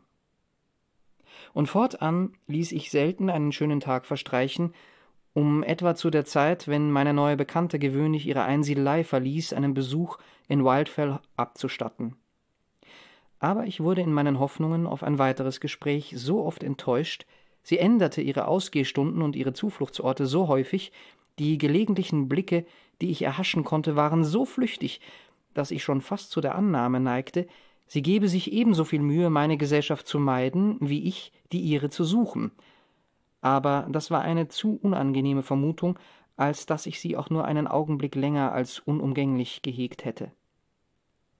Eines ruhigen, klaren Nachmittags im März jedoch, als ich gerade das Walzen des Weidelandes und das Ausbessern einer Hecke im Tal überwachte, sah ich Mrs. Graham unten am Bach, ein Skizzenbuch in der Hand, ganz in die Ausübung ihrer Lieblingsbeschäftigung vertieft, während Arthur sich die Zeit damit vertrieb, Dämme und Wellenbrecher in das flache, steinige Gewässer zu bauen. Ich hatte eine Abwechslung ziemlich nötig, und eine so seltene Gelegenheit durfte nicht versäumt werden. So ließ ich sowohl Weide als auch Hecke sein und begab mich eilends zu der Stelle, aber nicht vor Sancho, der sofort, nachdem er seinen jungen Freund wahrgenommen hatte, die dazwischenliegende Entfernung im vollen Galopp dahinrannte und in unbändiger Freude auf ihn zusprang, so dass das Kind fast mitten in den Bach gestürzt wäre. Aber glücklicherweise bewahrten ihn die Steine davor, sich ernsthaft nass zu machen, während ihre glatte Oberfläche verhinderte, dass er sich gar zu weh tat, und so konnte er über den unerwarteten Vorfall lachen. Mrs. Graham studierte gerade die besonderen Gestaltungen der verschiedenen Baumarten in ihrer winterlichen Nacktheit und zeichnete mit mutigem, wenn auch zartem Strich ihre verschiedenen Verästelungen ab. Sie redete nicht viel, aber ich stand da und beobachtete die Fortschritte ihres Bleistifts. Es war ein Vergnügen, ihn von diesen schönen, anmutigen Fingern so geschickt geführt zu sehen. Aber schon bald wurde ihre Behendigkeit beeinträchtigt. Sie begann zu zögern, leicht zu zittern und falsche Striche zu machen, und kamen dann plötzlich zur Ruhe, während ihre Besitzerin ihr Gesicht lachend zu meinem emporhob und mir zu verstehen gab, dass die Skizze von meiner Oberaufsicht nicht profitierte. Dann, sagte ich, unterhalte ich mich eben mit Arthur, bis Sie fertig sind. Ich würde gern ein wenig reiten, Mr. Markham, wenn Mama mich lässt, sagte das Kind. Worauf denn, mein Junge? Ich glaube, auf dem Feld, dort steht ein Pferd, erwiderte er und deutete dorthin, wo die kräftige schwarze Stute gerade die Walze zog. Nein, nein, Arthur, das ist zu weit, wandte seine Mutter ein. Aber ich versprach ihn nach ein oder zwei Runden auf der Weide wohlbehalten zurückzubringen, und als sie seinen ungeduldigen Gesichtsausdruck sah, lächelte sie und ließ ihn gehen. Es war das erste Mal, dass sie mir erlaubt hatte, ihn auch nur um die halbe Länge eines Feldes von ihrer Seite zu entführen. Wie er so auf seinem riesenhaften Ross thronte und das weite, abschüssige Feld feierlich auf und abritt, sah er wie die Verkörperung ruhiger, fröhlicher Zufriedenheit und Freude aus. Das Walzen war jedoch bald getan. Aber als ich den tapferen Reitersmann vom Pferd hob und ihn wieder seiner Mutter übergab, schien sie ziemlich missvergnügt, dass ich ihn so lange ferngehalten hatte. Sie hatte ihr Skizzenbuch zugeklappt und wahrscheinlich schon seit einigen Minuten ungeduldig auf seine Rückkehr gewartet. Es sei nun höchste Zeit, nach Hause zu gehen, sagte sie, und hätte mir wohl einen guten Abend gewünscht, aber ich wollte sie noch nicht verlassen. Ich begleitete sie noch halb den Hügel hinauf. Sie wurde umgänglicher, und ich begann mich sehr glücklich zu fühlen aber als wir in Sichtweite des grimmigen alten Herrensitzes kamen, blieb sie stehen und wandte sich mir zu, während sie sprach, als erwarte sie, ich würde nicht weitergehen, so dass die Unterhaltung hier enden müsse und ich nun Abschied nehmen und gehen würde. Da es in der Tat Zeit war zu gehen, denn der klare, kalte Abend ging rasch zur Neige, die Sonne war untergegangen und der zunehmende Mond leuchtete deutlich am bleichen grauen Himmel, aber ein Gefühl fast wie Mitleid ließ mich wie angewurzelt stehen bleiben. Es erschien mir grausam, sie einem so einsamen, unbehaglichen Zuhause zu überlassen. Ich schaute zu ihm hinauf. Schweigend und düster blickte es auf uns herab. Ein schwaches rotes Licht schien durch die unteren Fenster des einen Gebäudeflügels, aber alle anderen Fenster lagen in Dunkelheit, und viele boten ihre schwarzen, höhlenartigen, von Glasscheiben oder Fensterrahmen gänzlich entblößten Vertiefungen dar. Finden Sie nicht, dass es ein öder Ort ist, um darin zu leben? sagte ich nach einem Augenblick stummer Betrachtung. Manchmal ja, erwiderte sie. An Winterabenden, wenn Arthur im Bett ist und ich allein da sitze, den öden Wind um mich stöhnen und durch die verfallenen alten Zimmer heulen höre. Keine Bücher und keine Beschäftigungen können dann die schlimmen Gedanken und Ängste verdrängen, die auf einen einstürzen. Aber ich weiß, es ist dumm, sich solcher Schwäche zu überlassen. Wenn Rachel mit einem solchen Leben zufrieden ist, warum sollte ich es nicht auch? Tatsächlich kann ich gar nicht dankbar genug für einen derartigen Zufluchtsort sein, solange er mir überlassen bleibt. Der abschließende Satz war leise gesprochen, als ob sie ihn mehr zu sich selbst als zu mir gesagt hätte. Darauf wünschte sie mir einen guten Abend und ging. Ich hatte auf meinem Heimweg noch nicht viele Schritte getan, als ich Mr. Lawrence auf seinem hübschen grauen Pony gewahrte, wie er den zerfurchten Weg heraufkam, der über den Gipfel des Hügels verlief. War das Mrs. Graham, mit der Sie gerade eben gesprochen haben? Fragte er, nachdem die ersten paar Begrüßungsworte zwischen uns gewechselt waren. Ja. Hm, ich dachte es mir. Nachdenklich blickte er auf die Mähne seines Pferdes, als ob er mit irgendetwas daran ernsthaft nicht zufrieden wäre oder so. Nun, was denn? Oh, nichts, erwiderte er. Nur ich dachte, Sie können sie nicht leiden, fügte er ruhig hinzu, wobei er seine klassisch geformten Lippen zu einem leicht sarkastischen Lächeln kräuselte. Vermutlich war es so. Darf ein Mann bei näherer Bekanntschaft seine Meinung etwa nicht ändern? Doch, natürlich, entgegnete er, wobei er sorgfältig eine verfilzte Stelle in der weißlichen Mähne des Ponys entwirrte. Sodann wandte er sich mir plötzlich zu und fügte, seine scheuen Haselnussaugen mit einem ruhigen, durchdringenden Blick auf mich gerichtet hinzu dann haben Sie also Ihre Meinung geändert? Ich kann nicht sagen, dass ich sie ganz geändert habe. Nein, ich vertrete im Hinblick auf Sie wohl noch dieselbe Meinung wie vorher, nur leicht verbessert. Oh. Er suchte nach irgendetwas anderem, worüber man reden konnte. Und indem er zum Mond emporsah, machte er einige Bemerkungen über die Schönheit des Abends, worauf ich nichts antwortete, da sie für das Thema unwichtig waren. Lawrence, sagte ich und sah ihm dabei ruhig ins Gesicht. Sind Sie in Mrs. Graham verliebt? Anstatt dadurch tief beleidigt zu sein, wie ich eigentlich fast erwartete, folgte dem ersten Überraschungsmoment ein Gekicher, als sei er von der Idee höchlich amüsiert. In Sie verliebt? wiederholte er. Wie kommen Sie denn darauf? Wegen des Interesses, das Sie an den Fortschritten in meiner Bekanntschaft mit der Dame nehmen und an den Änderungen in meiner Meinung über sie. Ich dachte, Sie sind vielleicht eifersüchtig. Er lachte erneut. Eifersüchtig? Nein. Aber ich dachte, Sie wollten Eliza Millward heiraten. Dann dachten Sie falsch. Ich werde weder die eine noch die andere heiraten, soweit ich weiß. Dann meine ich, sollten Sie sie lieber in Ruhe lassen. Werden Sie Jane Wilson heiraten? Er wurde rot und spielte wieder mit der Mähne, antwortete aber Nein, ich denke nicht. Dann sollten Sie sie lieber in Ruhe lassen. Sie wird mich aber nicht in Ruhe lassen, hätte er wohl sagen können, aber er sah nur dumm drein und sagte eine halbe Minute lang gar nichts, und dann machte er einen weiteren Versuch, dem Gespräch eine andere Wendung zu geben, und diesmal ließ ich es geschehen, denn er hatte schon genug ertragen. Noch ein Wort über dieses Thema, und es wäre ihm wohl der Geduldsfaden gerissen. Ich kam zu spät zum Tee, aber meine Mutter hatte netterweise die Teekanne und das Gebäck auf dem Kamineinsatz warm gehalten. Sie schimpfte mich zwar ein wenig aus, ließ aber meine Entschuldigungen gelten, und als ich mich über den Geschmack des Tees beklagte, der zu lang gezogen hatte, schüttete sie den Rest in den Schmutzwasserbehälter und bat Rose, Frischen in die Kanne zu tun und den Wasserkessel wieder zum Kochen zu bringen. Dienstleistungen, die mit großem Getue und manch bemerkenswerten Kommentaren verrichtet wurden. Na schön. Wenn es sich jetzt um mich gehandelt hätte, hätte ich überhaupt keinen Tee mehr gekriegt. Selbst wenn es Fergus gewesen wäre, hätte er sich mit dem, was eben da war, abfinden müssen und gesagt bekommen, er solle dafür dankbar sein, denn es sei viel zu gut für ihn. Aber du, für dich ist ja nichts gut genug, was wir tun. Es ist immer so. Wenn irgendetwas Besonderes Leckeres auf dem Tisch steht, blinzelt und nickt mir Mama zu, mich zurückzuhalten, und wenn ich nicht darauf achte, flüstert sie, Iss nicht so viel davon, Rose. Gilbert wird es zum Abendbrot haben wollen. Ich bin überhaupt nichts.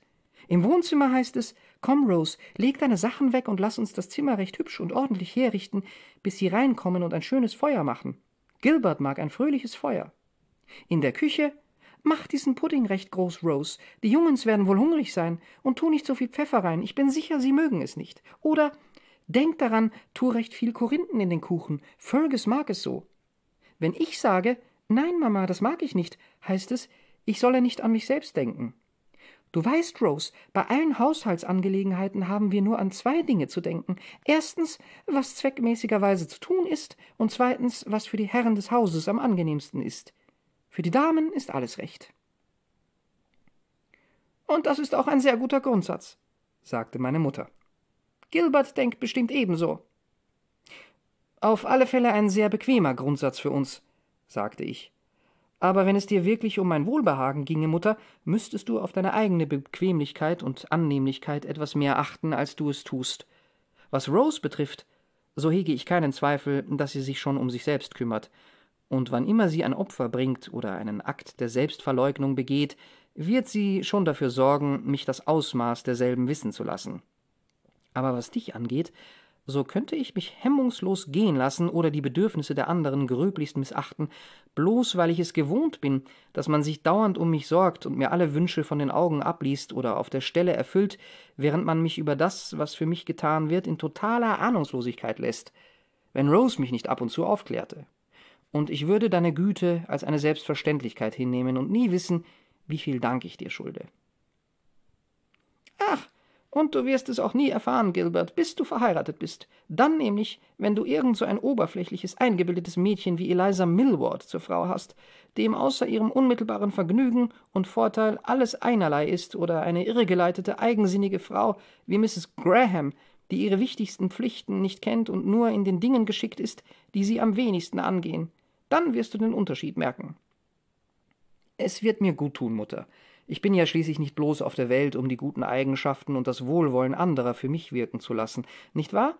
Sondern meine eigenen so einzusetzen, dass ihnen damit gedient ist. Und wenn ich heirate, erwarte ich mir mehr Freude davon, dass ich meine Frau glücklich und zufrieden mache, als umgekehrt. Geben ist seliger denn nehmen. Ah, das ist doch alles Unsinn, mein Lieber. Kindisches Gerede ist das. Du wirst es bald leid werden, deine Frau zu hätscheln und bei Laune zu halten, und sei sie noch so bezaubernd. Und dann kommt die eigentliche Prüfung. Nun, dann muss eben ein jeder von uns die Lasten des anderen tragen. Dann muss jeder von euch sich in die ihm gebührende Position einfinden. Du wirst deine Arbeit verrichten, und sie, wenn sie deiner würdig ist, wird die ihre tun. Aber es ist deine Aufgabe, es dir angenehm zu machen und die ihre dazu beizutragen. Dein armer, lieber Vater war gewiss der beste Ehemann, der je gelebt hat, und nachdem die ersten sechs Monate oder so ungefähr vorüber waren, hätte ich genauso unverzüglich von ihm erwartet, dass er fliegen könne, wie dass er sich Mühe gebe, mir eine Freude zu machen.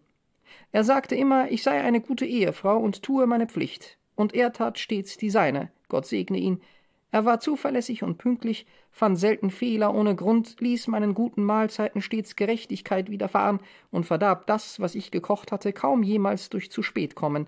Und mehr als das kann keine Frau von einem Mann erwarten. Stimmt das, Halford?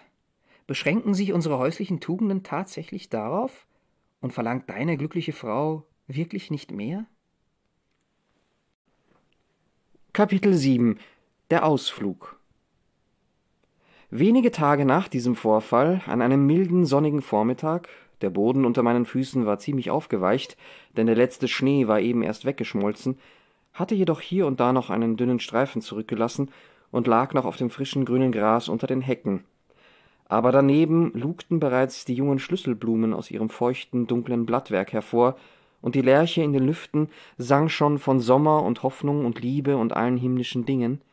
Ich war draußen auf dem Hügel genoss diese Herrlichkeiten und schaute nach, ob meine kleinen Lämmer und ihre Mütter wohlauf seien, da sah ich, als ich meinen Blick umherschweifen ließ, drei Personen vom Tal heraufkommen. Es waren Eliza Millward, Fergus und Rose. Also überquerte ich das Feld, um ihnen entgegenzugehen, und als ich erfuhr, dass sie nach Wildfell Hall wollten, erklärte ich mich bereit, mit ihnen zu gehen, und indem ich Eliza meinen Arm bot, die ihn gern anstelle des meines Bruders annahm, sagte ich zu diesem, er könne ruhig umkehren, da ich die Dame begleiten würde. Entschuldige mal, stieß er hervor, es sind die Damen, die mich begleiten, nicht ich sie. Ihr habt alle schon einen verstohlenen Blick auf diese seltsame Fremde geworfen, nur ich nicht, und ich konnte meine jämmerliche Unwissenheit nicht länger ertragen. Komme, was wolle, ich muss meine Neugier befriedigen. So bat ich Rose, mit mir zum Herrenhaus zu gehen und mich ihr schnellstens vorzustellen. Sie schwor, das tue sie nicht, wenn nicht auch Miss Eliza mitkäme, also rannte ich zum Pfarrhaus und holte sie, und wir sind den ganzen Weg herauf untergehakt gegangen, so närrisch verliebt wie ein Liebespaar. Und nun hast du sie mir weggenommen. Und obendrein willst du mich auch noch um meinen Spaziergang und um meinen Besuch bringen. Geh zu deinen Feldern und zu deinem Vieh zurück, du tölpelhafter Kerl. Du passt nicht in eine Gesellschaft von Damen und Herren wie wir, die nichts anderes zu tun haben, als um die Häuser unserer Nachbarn herumzuspionieren, verstohlen in ihre geheimsten Winkel zu gucken und ihre Geheimnisse auszuschnüffeln und die Nase zu rümpfen, wenn uns etwas nicht passt. Du verstehst nichts von solchen erlesenen Quellen des Vergnügens. Könnt ihr denn nicht beide gehen? schlug Eliza vor, die den letzten Teil der Rede geflissentlich überhört hatte. Ja, beide, natürlich, rief Rose. Je mehr, desto lustiger. Und ich bin sicher, wir werden alle Fröhlichkeit, die wir in dieses große, dunkle, düstere Zimmer mit seinen engen, vergitterten Fenstern und seinen grässlichen alten Möbeln nur mitnehmen können, bitter gebrauchen. Es sei denn, sie führt uns wieder in ihr Atelier. So gingen wir denn alle gemeinsam, und die dürre alte Dienstmagd, die uns die Tür öffnete, führte uns in ein Zimmer, wie es mir Rose als den äußeren Rahmen ihrer ersten Begegnung mit Mrs. Graham beschrieben hatte – ein einigermaßen geräumiges und hohes Zimmer, das allerdings durch die altmodischen Fenster nur wenig Licht erhielt, mit einer Decke, Paneelen und einer durch üppiges, doch nicht sehr geschmackvolles Schnitzwerk verzierten Kaminverkleidung aus düster wirkender schwarzer Eiche mit dazu passenden Tischen und Stühlen, einem alten, mit einer bunten Büchermischung bestückten Bücherschrank auf der einen Seite des Kamins und einem nicht mehr neuen Piano auf der anderen. Die Dame saß in einem steifen, hochlehnigen Armstuhl, hatte zur einen Seite ein rundes Tischchen, in dem sich ein Schreibpult und ein Handarbeitskörbchen befand, zur anderen ihren kleinen Jungen, der den Ellbogen auf ihr Knie gestützt dastand und ihr aus einem kleinen Buch, das sie auf dem Schoß liegen hatte, bewundernswert flüssig vorlas, während sie ihre Hand auf seiner Schulter ruhen ließ und gedankenverloren mit den langen, welligen Locken spielte, die ihm in den elfenbeinfarbenen Nacken fielen die beiden zogen meine Aufmerksamkeit auf sich, bildeten sie doch einen wohltuenden Gegensatz zu den Gegenständen, die sie umgaben. Natürlich aber veränderten sie ihre Stellung sofort bei unserem Eintritt. Nur während der wenigen kurzen Augenblicke, als Rachel uns die Tür aufhielt, konnte ich dieses Bild betrachten. Ich glaube nicht, dass Mrs. Graham besonders begeistert war, uns zu sehen. Es lag etwas unbeschreiblich Abweisendes in ihrer ruhigen, gelassenen Höflichkeit, aber ich sprach nicht viel mit ihr. Nachdem ich mich in die Nähe des Fensters, etwas abseits von der Runde gesetzt hatte, rief ich Arthur zu mir, und er und ich und Sancho vergnügten uns sehr nett miteinander, während die beiden jungen Damen seine Mutter mit belanglosem Geplauder quälten und Fergus ihr gegenüber saß. Die Beine übereinander geschlagen und die Hände in den Hosentaschen, lehnte er sich in seinen Stuhl zurück und starrte bald auf die Decke, bald seiner Gastgeberin geradewegs ins Gesicht. In einer Art und Weise, die in mir große Lust aufkommen ließ, ihn mit einem Fußtritt aus dem Zimmer zu befördern. Bald pfiff er leise ein paar Akte einer seiner Lieblingsmelodien vor sich hin, bald unterbrach er die Unterhaltung oder füllte eine Gesprächspause, wie es gerade so kam, mit irgendeiner äußerst impertinenten Frage oder Bemerkung, wie zum Beispiel Es erstaunt mich, Miss Graham, wie Sie sich ein solches baufälliges, wackeliges altes Gebäude als Wohnsitz wählen konnten. Wenn Sie es sich schon nicht leisten können, das ganze Haus zu bewohnen und ausbessern zu lassen, warum haben Sie sich dann nicht ein schmuckes kleines Cottage genommen? Vielleicht war ich zu stolz, Mr. Fergus, erwiderte sie lächelnd. Vielleicht habe ich an diesem romantischen, altmodischen Anwesen besonderen Gefallen gefunden. Aber es hat ja auch in der Tat viele Vorteile gegenüber einem Cottage. Erstens sind, wie Sie sehen, die Zimmer größer und luftiger, Zweitens können die unbewohnten Gemächer, für die ich nicht bezahle, als Rumpelkammern dienen, falls ich irgendetwas hineinzustellen habe. Und sie sind sehr nützlich für meinen kleinen Jungen, um an Regentagen, wenn er nicht nach draußen gehen kann, darin herumzutollen. Und dann gibt es einen Garten, in dem er spielen und ich arbeiten kann. Sie sehen, dass ich schon einige kleine Verbesserungen vorgenommen habe, fuhr sie fort, wobei sie sich zum Fenster hinwandte. Dort, in jener Ecke, ist ein Beet mit Frühgemüse, und hier blühen schon ein paar Schneeglöckchen und Primeln. Und da öffnet sich gerade ein gelber Krokus den Sonnenstrahlen. Ja, wie können Sie es bloß in einer solchen Lage aushalten, wo Ihre nächsten Nachbarn zwei Meilen entfernt wohnen und niemand hereinschaut oder vorbeikommt? Rose würde an einem solchen Ort ganz verrückt werden. Sie kann nicht leben, wenn sie nicht ein halbes Dutzend neuer Kleider und Hüte am Tage sieht. Nicht zu reden von den Gesichtern darunter. Aber Sie könnten vielleicht den ganzen Tag lang an diesen Fenstern sitzen und Ausschau halten ohne auch nur ein altes Weiblein zu erblicken, das seine Eier zum Markt trägt. Ich bin mir nicht sicher, ob es nicht gerade die Einsamkeit dieses Ortes war, die ihn mir vor allem empfahl. Ich finde kein Vergnügen daran, Leute am Fenster vorbeigehen zu sehen, und ich lebe gern zurückgezogen. Oh, Sie könnten ebenso gut sagen, wir sollen uns alle um unsere eigenen Angelegenheiten kümmern und sie in Ruhe lassen. Nein, mir liegt nichts an einem ausgedehnten Bekanntenkreis. Aber wenn ich ein paar Freunde habe, freue ich mich natürlich, sie gelegentlich zu sehen. Niemand kann in dauernder Einsamkeit glücklich sein. Wenn Sie deshalb, Mr. Fergus, mein Haus als Freund betreten wollen, werde ich Sie willkommen heißen. Wenn nicht, so muss ich gestehen, es wäre mir lieber, Sie blieben weg. Darauf wandte sie sich ab und richtete einige Bemerkungen an Rose oder Eliza. Und Mrs. Graham? fing er fünf Minuten später wieder an. Auf unserem Weg hierher haben wir ein Problem erörtert, das Sie mühelos für uns lösen könnten, da es hauptsächlich Sie selbst betrifft. Wir reden uns nämlich oft über Sie die Köpfe heiß, haben doch einige von uns nichts Besseres zu tun, als sich über die Angelegenheiten ihrer Nachbarn auszulassen, und wir als waschechte Einheimische kennen uns schon so lange und haben schon so oft übereinander geredet, dass wir dieses Spiels vollständig überdrüssig sind. Und so bedeutet ein Fremder, der zu uns kommt, eine unschätzbare Bereicherung, da die Quellen unserer Unterhaltung schon längst versiegt sind. Also, die Frage oder die Fragen, die Sie beantworten sollen. Halt doch den Mund, Fergus, rief Rose, die vor Besorgnis und Wut in heller Aufregung war. Ich will aber nicht. Die Fragen, die Sie beantworten sollen, sind folgende. Erstens, beziehen Sie sich auf Ihre Herkunft, Abstammung und Ihren früheren Wohnsitz. Einige wollen erfahren haben, dass Sie Ausländerin und einige, dass Sie Engländerin sind. Einige behaupten, dass Sie aus dem Norden des Landes und einige, dass Sie aus dem Süden stammen. Einige sagen, nun, Mr. Fergus, ich werde es Ihnen sagen. Ich bin Engländerin, und ich begreife nicht, warum irgendjemand daran zweifeln sollte. Und ich bin auf dem Land geboren, und zwar weder im äußersten Norden noch im äußersten Süden unserer glücklichen Insel und auf dem Land habe ich mein Leben auch hauptsächlich verbracht. Und jetzt sind Sie hoffentlich zufriedengestellt, denn ich bin im Augenblick nicht gewillt, irgendwelche weiteren Fragen zu beantworten. Mit Ausnahme dieser. Nein, keine einzige mehr lachte sie, und indem sie unverzüglich von ihrem Platz aufstand, suchte sie bei dem Fenster Zuflucht, an dem ich saß, und aus purer Verzweiflung, den Belästigungen meines Bruders zu entkommen, versuchte sie, mich ins Gespräch zu ziehen. Mr. Markham, sagte sie, wobei ihr schnelles Sprechen und ihr gerötetes Gesicht ihre innere Unruhe nur zu deutlich bekundeten. Haben Sie den schönen Blick aufs Meer vergessen, von dem wir vor einiger Zeit gesprochen haben?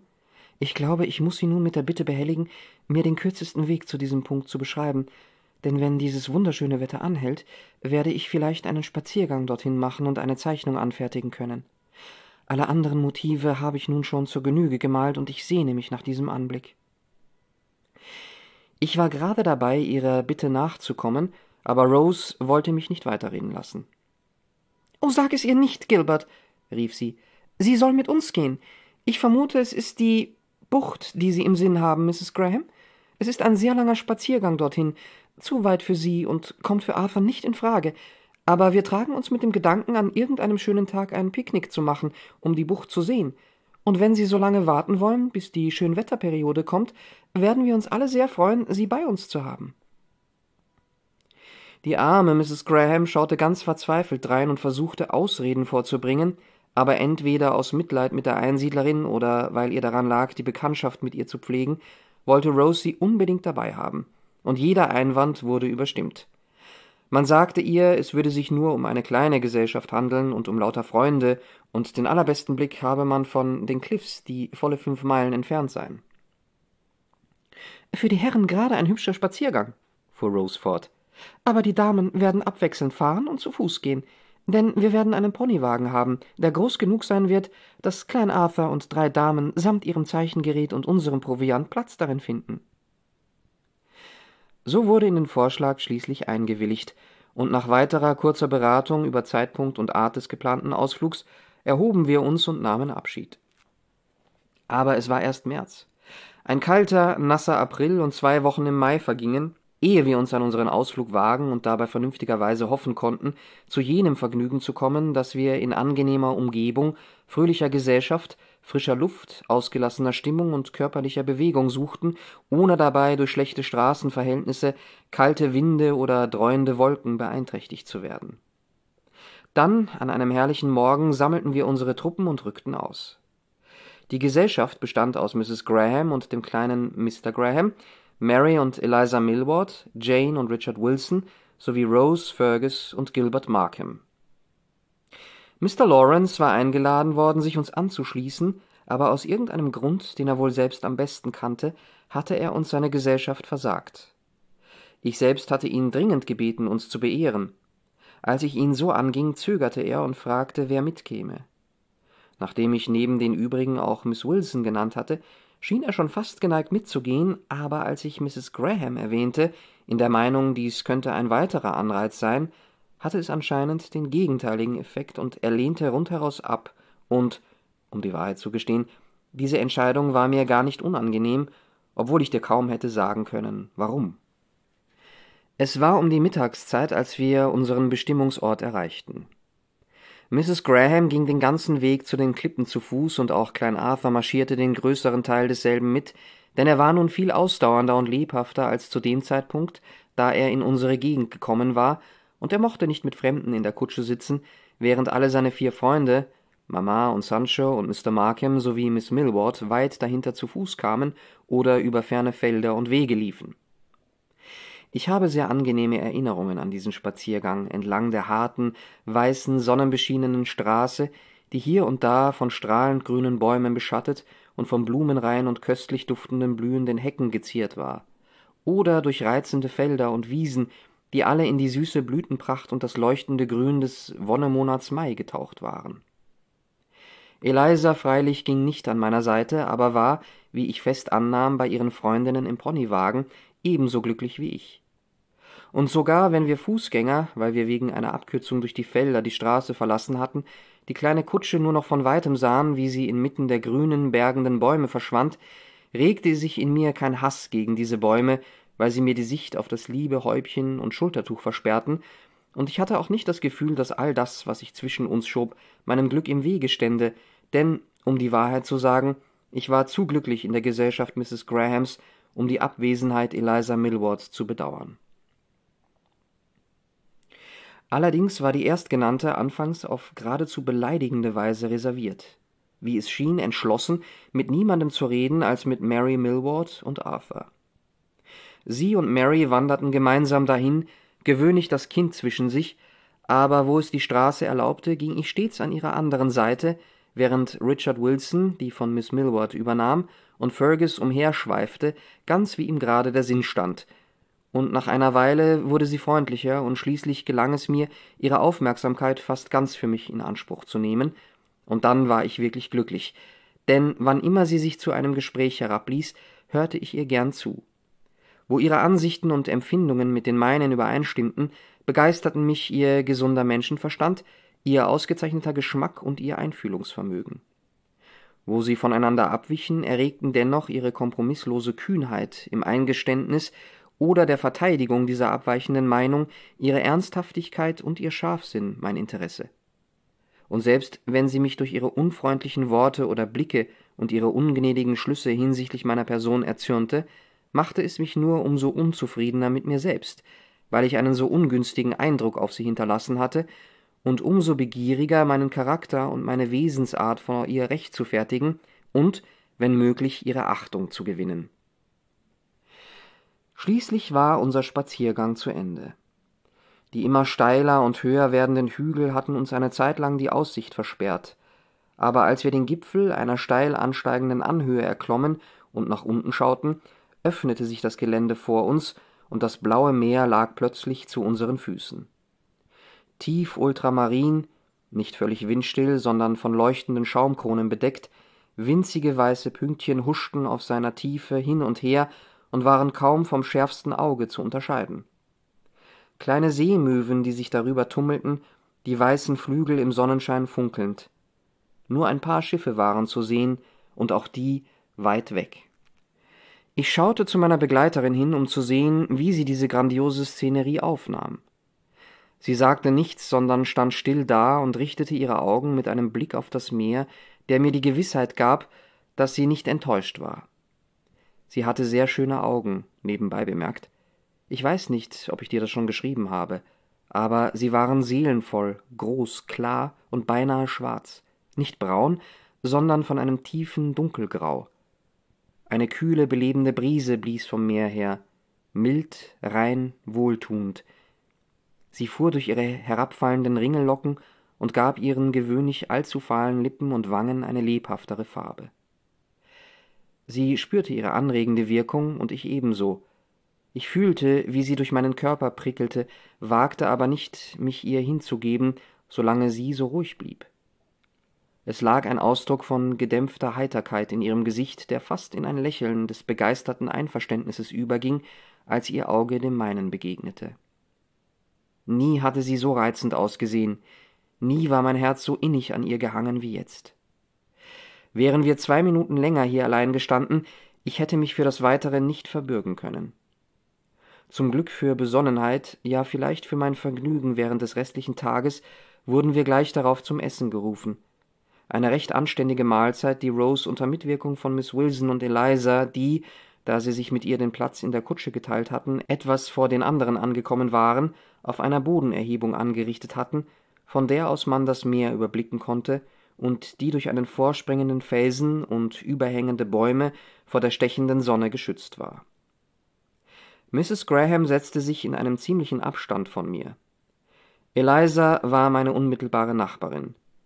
Auf ihre sanfte, unaufdringliche Art bemühte sie sich zu gefallen und war ohne Zweifel so faszinierend und bezaubernd wie eh und je, wenn ich es nur hätte empfinden können.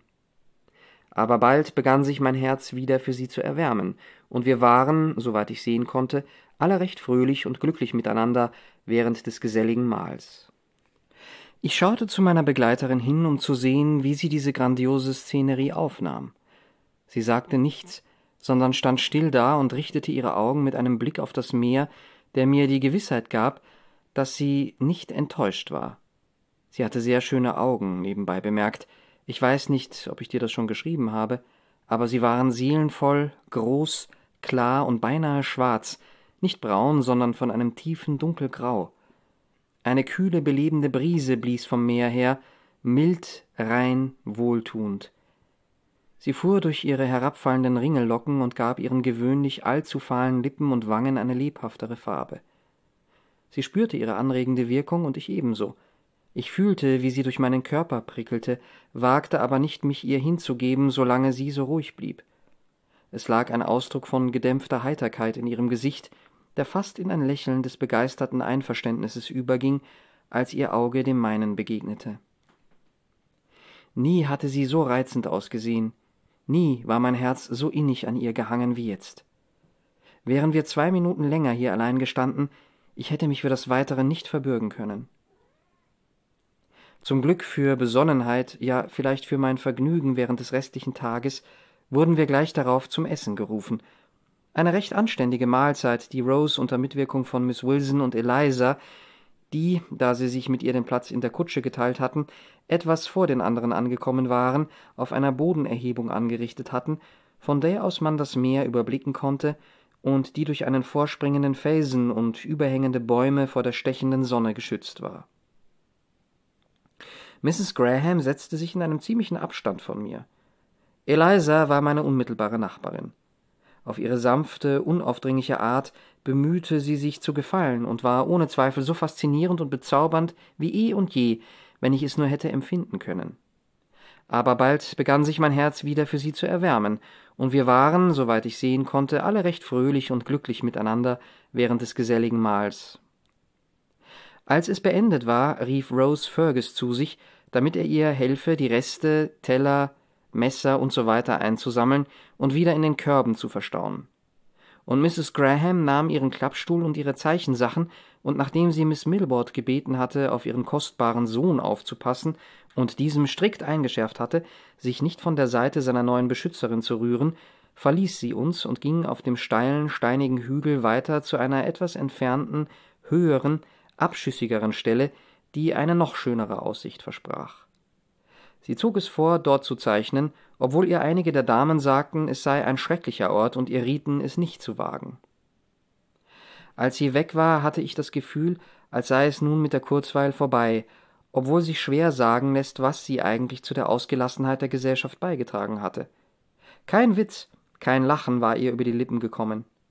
Aber ihr Lächeln hatte mich fröhlich gestimmt, Eine treffende Bemerkung oder ein heiteres Wort von ihr hatten meine fünf Sinne geschärft und allem, was die anderen taten und sagten, ein gewisses Interesse verliehen.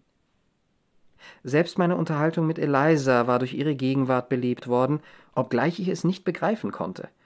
Und nun, da sie gegangen war, amüsierte mich Elizas ausgelassener Unsinn nicht mehr, ja, ging mir regelrecht auf die Nerven, und ich wurde es leid, sie zu unterhalten.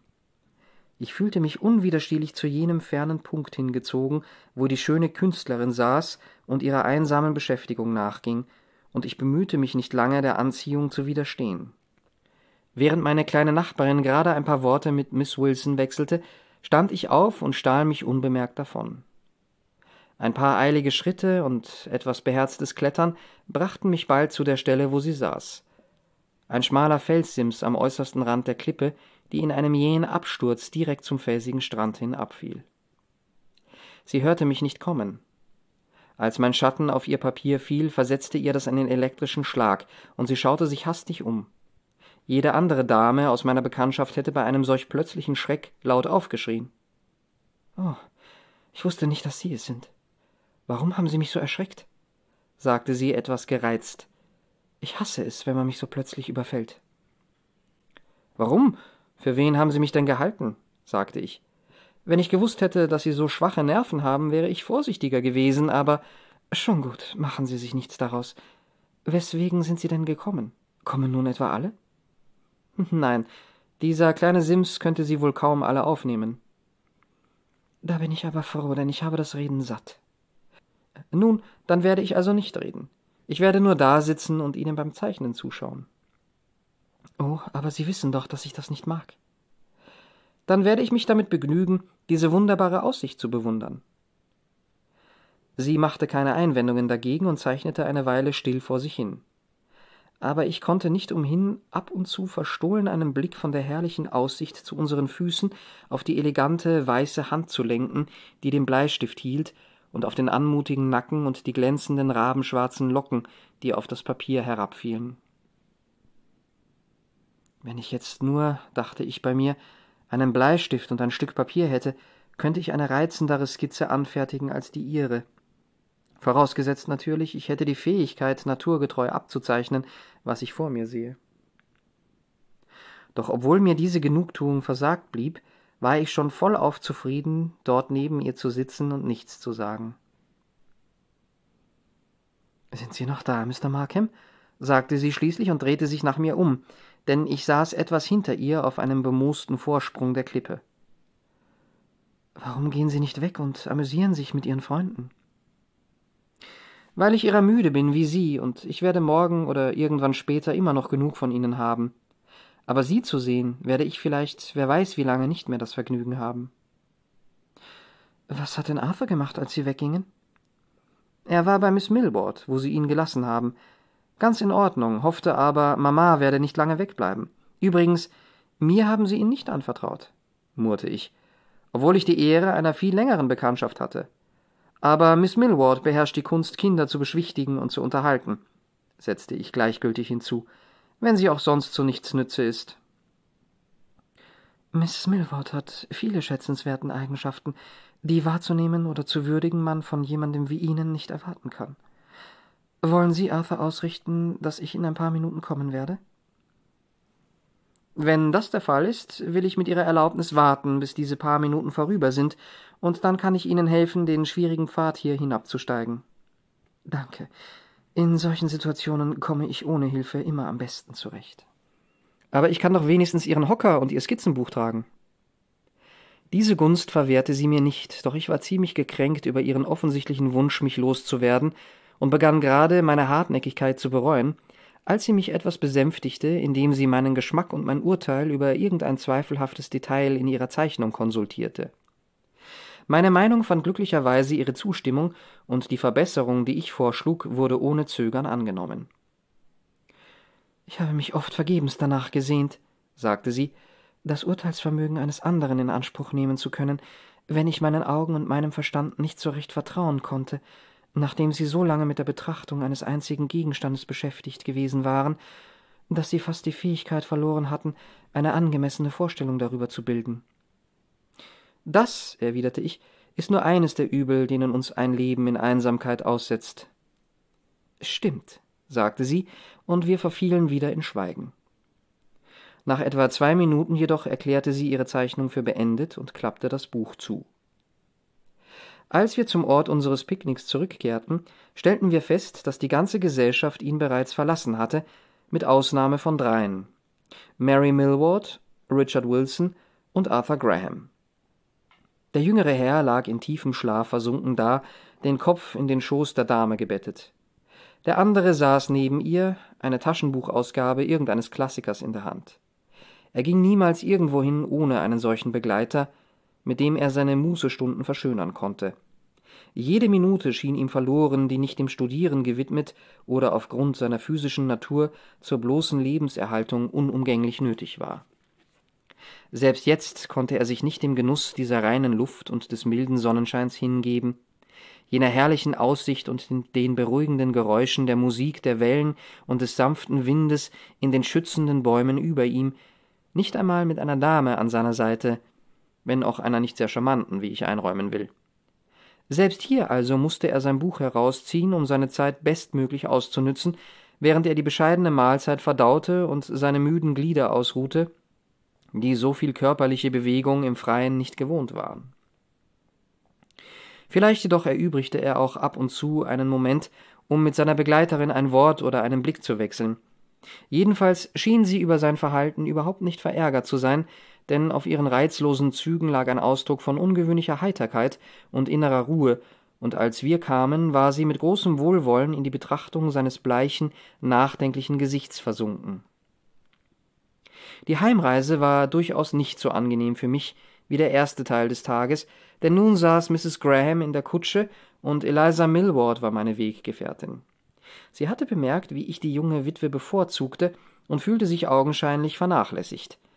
Sie tat ihren Kummer indes nicht durch scharfe Vorwürfe, bittere Sarkasmen oder schmollendes mürrisches Schweigen kund, Verhaltensweisen, von denen ich jede einzelne oder alle zusammen leicht hätte ertragen oder mit Lachen übergehen können, sondern sie gab ihn durch eine Art von sanfter Melancholie, einer milden, vorwurfsvollen Traurigkeit zu erkennen, die mir in der Seele wehtat.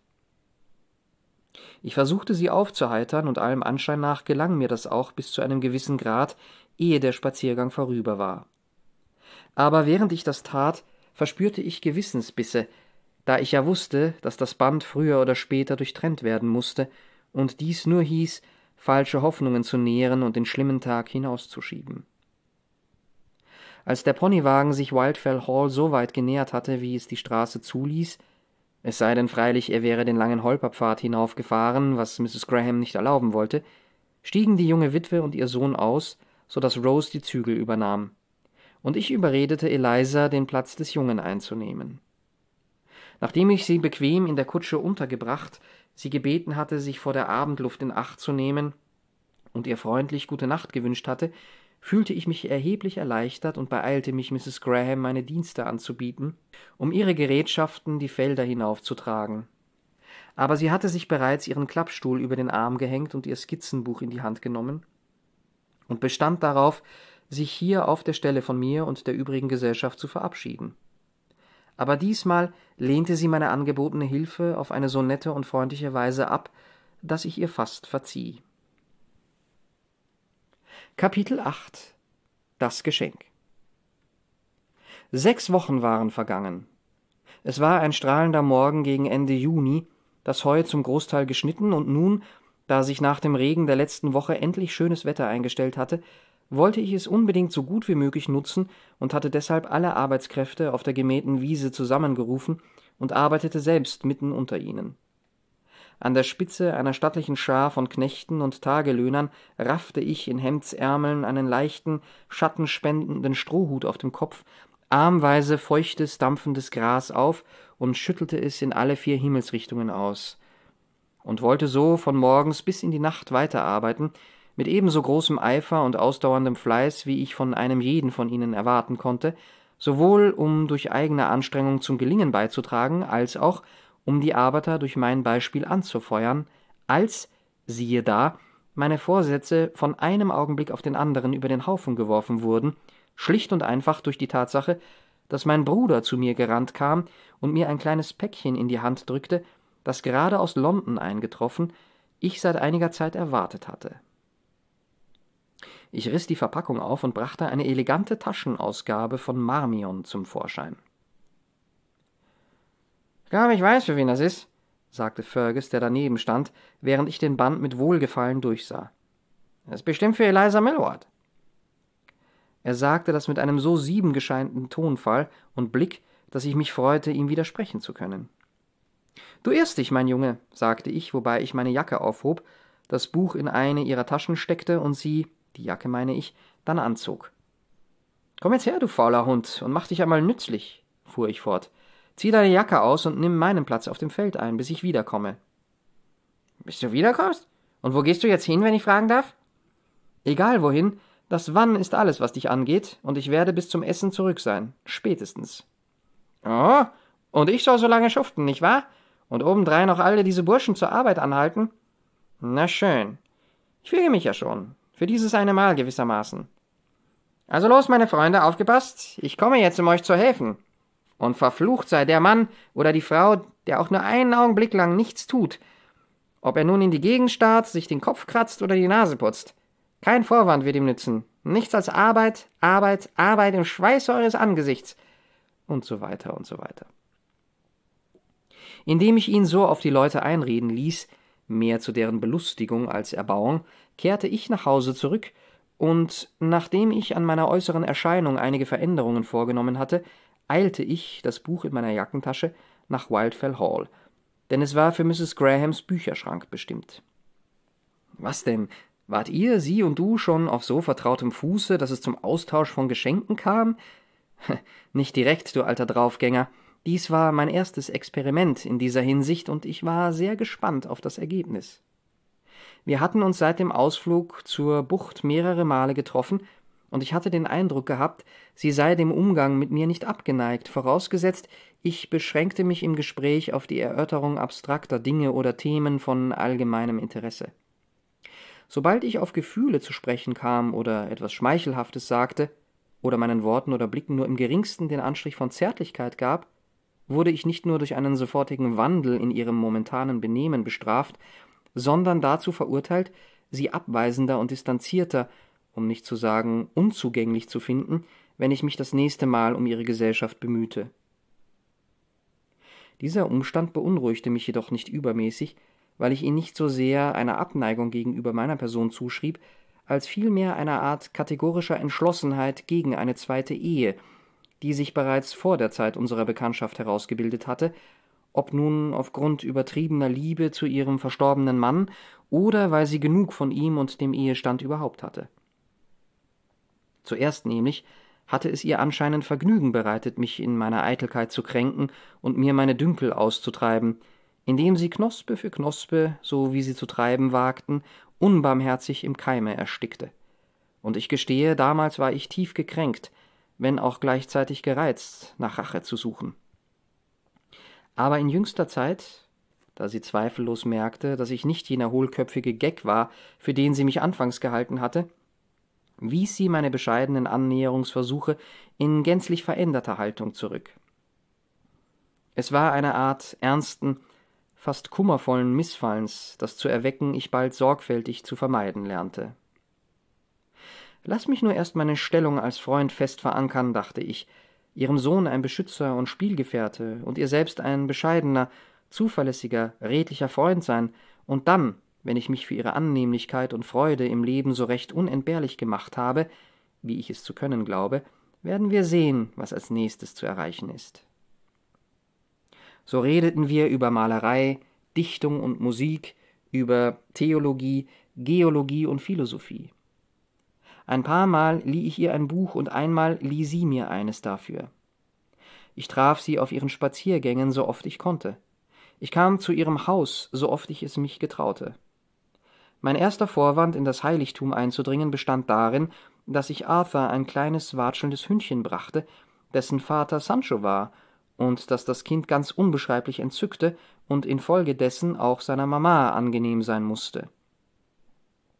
Um einen zweiten Vorwand zu haben, brachte ich ihm ein Buch, das ich, da ich wusste, wie heikel seine Mutter war, sorgfältig ausgesucht hatte und das ich ihr zur Genehmigung vorlegte, bevor ich es ihm schenkte. Danach brachte ich ihr im Namen meiner Schwester ein paar Setzlinge für ihren Garten, nachdem ich zuvor Rose überredet hatte, sie ihr zu schicken. Jedes Mal fragte ich dabei nach dem Bild, das sie nach der auf der Klippe angefertigten Skizze malte, und ich wurde ins Atelier eingelassen und um meine Meinung oder meinen Rat bezüglich seiner Fortschritte gebeten. Mein letzter Besuch hatte der Rückgabe des Buches gegolten, das sie mir geliehen hatte, und da geschah es auch, dass sie, als wir zufällig über die Dichtung Sir Walter Scotts sprachen, den Wunsch ausdrückte, Marmion kennenzulernen, und ich hatte den vermessenen Gedanken gefasst, es ihr zu schenken, und nachdem ich wieder zu Hause angelangt war, bestellte ich sogleich den hübschen kleinen Band, den ich heute Morgen erhalten hatte. Aber mein Eindringen in die Einsiedelei bedurfte noch immer einer Rechtfertigung. So hatte ich mir ein blaues Lederhalsband für Arthurs kleinen Hund beschafft, und nachdem dieses überreicht und angenommen worden war, und zwar mit viel mehr Freude und Dankbarkeit auf Seiten des Empfängers, als es der Wert des Geschenks oder das selbstsüchtige Motiv des Gebers verdienten, wagte ich, Mrs. Graham um einen weiteren Blick auf das Bild zu bitten, falls es dennoch da wäre. Oh ja, kommen Sie herein, sagte sie, denn ich hatte die beiden im Garten getroffen. Es ist fertig und gerahmt, es steht bereit zum Verschicken. Aber sagen Sie mir noch einmal Ihre Meinung, und wenn Sie noch eine weitere Verbesserung vorschlagen können, soll sie zumindest berücksichtigt werden. Das Bild war auffallend schön. Es war genau dieselbe Szene wie von Zauberhand auf die Leinwand übertragen aber ich brachte meine Anerkennung vorsichtig und in wenigen Worten zum Ausdruck, aus Angst, ihr Mißfallen zu erregen. Sie jedoch beobachtete meine Blicke aufmerksam, und ihr Künstlerstolz war zweifellos befriedigt, meine tief empfundene Bewunderung in meinen Augen zu lesen. Aber während ich auf das Bild starrte, dachte ich an das Buch und fragte mich, wie ich es übergeben sollte. Mir sank der Mut. Doch ich war entschlossen, kein solcher Narr zu sein, der weggeht, ohne einen Versuch gemacht zu haben. Es war zwecklos, auf eine günstige Gelegenheit zu warten, und zwecklos, sich eine Rede dafür auszudenken. Je offener und natürlicher die Sache erledigt wurde, desto besser, dachte ich bei mir. So schaute ich kurz aus dem Fenster, um mir ein Herz zu fassen, und dann zog ich das Buch heraus, wandte mich um und legte es ihr mit folgender kurzer Erklärung in die Hand. Sie haben sich doch gewünscht, Marmion kennenzulernen, Mrs. Graham, und hier ist es, wenn Sie so freundlich sein möchten, es anzunehmen. Eine jähe Röte überzog ihr Gesicht, vielleicht eine Schamesröte aus Mitgefühl für eine so linkische Art des Schenkens. Ernst sah sie sich den Band von beiden Seiten an, blätterte dann schweigend darin herum, wobei sie eine Weile nachdenklich die Stirn runzelte. Hierauf klappte sie das Buch zu und fragte, den Blick auf mich richtend, seelenruhig nach seinem Preis.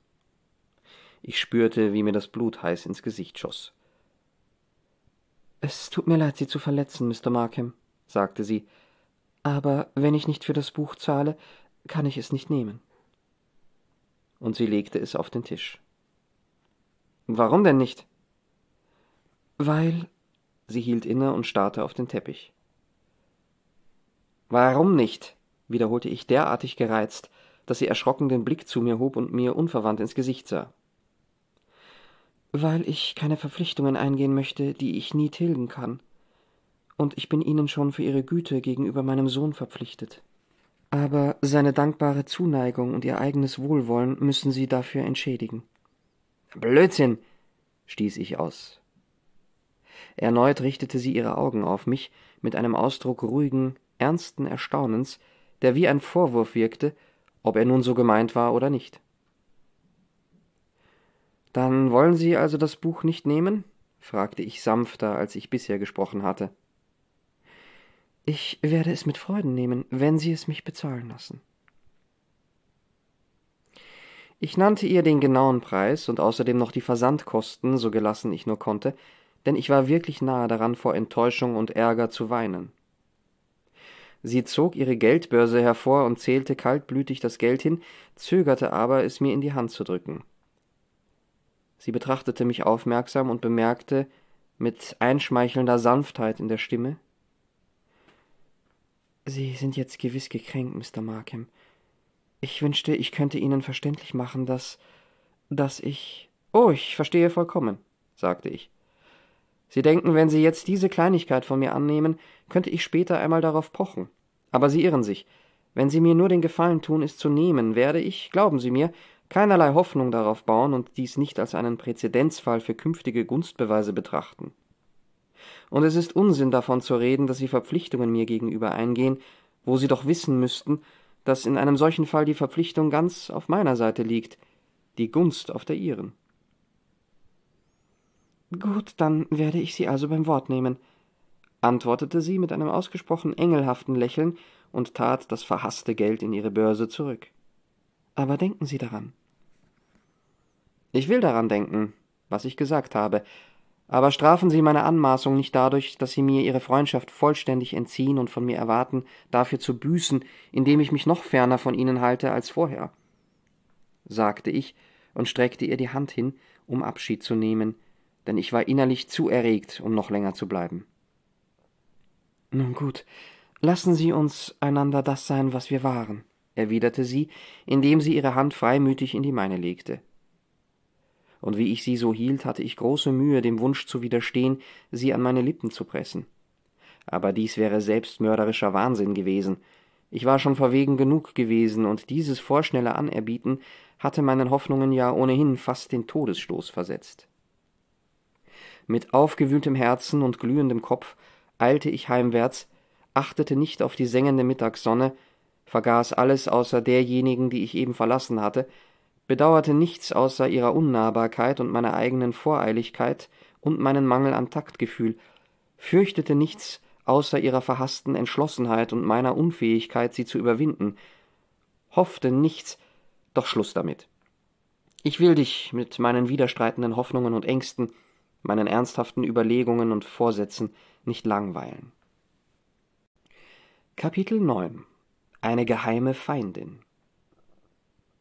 Obwohl man nun hätte sagen können, dass meine Gefühle für Eliza Millward deutlich erkaltet waren, gab ich meine Besuche im Pfarrhaus nicht vollständig auf, weil ich sie schonend auf die bevorstehende Trennung vorbereiten wollte, ohne viel Kummer zu erregen oder mir großen Unmut zuzuziehen und selbst zum Gegenstand des Dorfklatsches zu werden und wenn ich mich gänzlich ferngehalten hätte, wäre der Pfarrer, der meine Besuche als hauptsächlich, wenn nicht ganz und gar ihm geltend betrachtete, wegen dieser Vernachlässigung bestimmt beleidigt gewesen.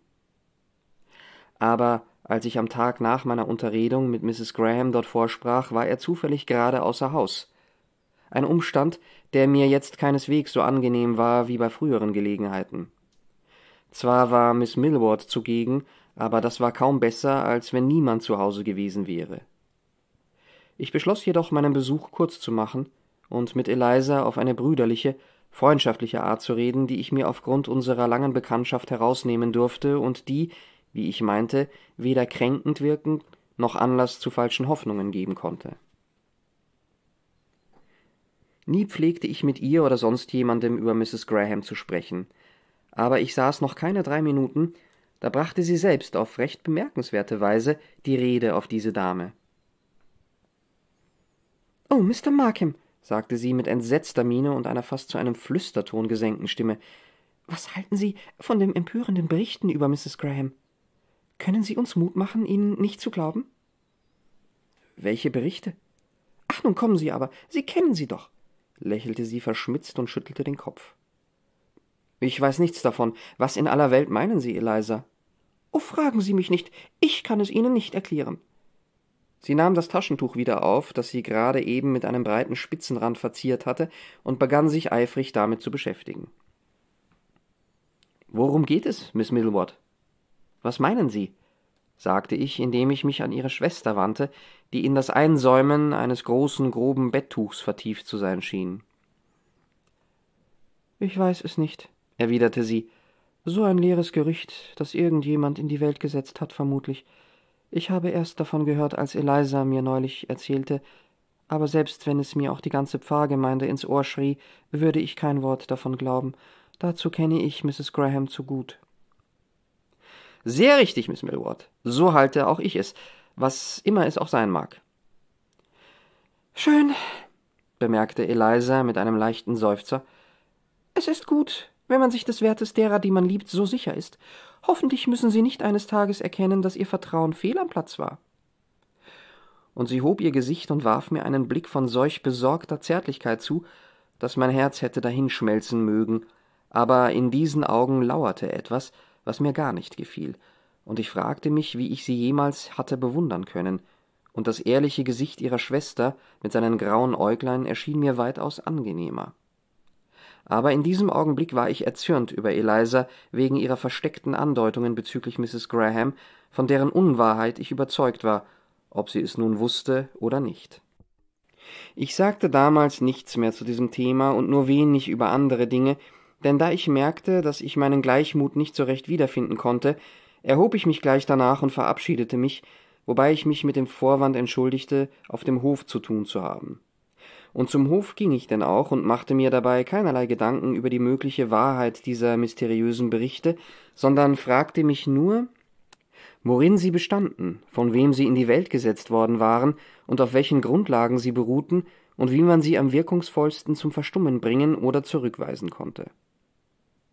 Ein paar Tage nach diesem Vorfall hatten wir wieder eine unserer geruhsamen kleinen Einladungen, zu der die übliche Gesellschaft von Freunden und Nachbarn, darunter auch Mrs. Graham, eingeladen worden war.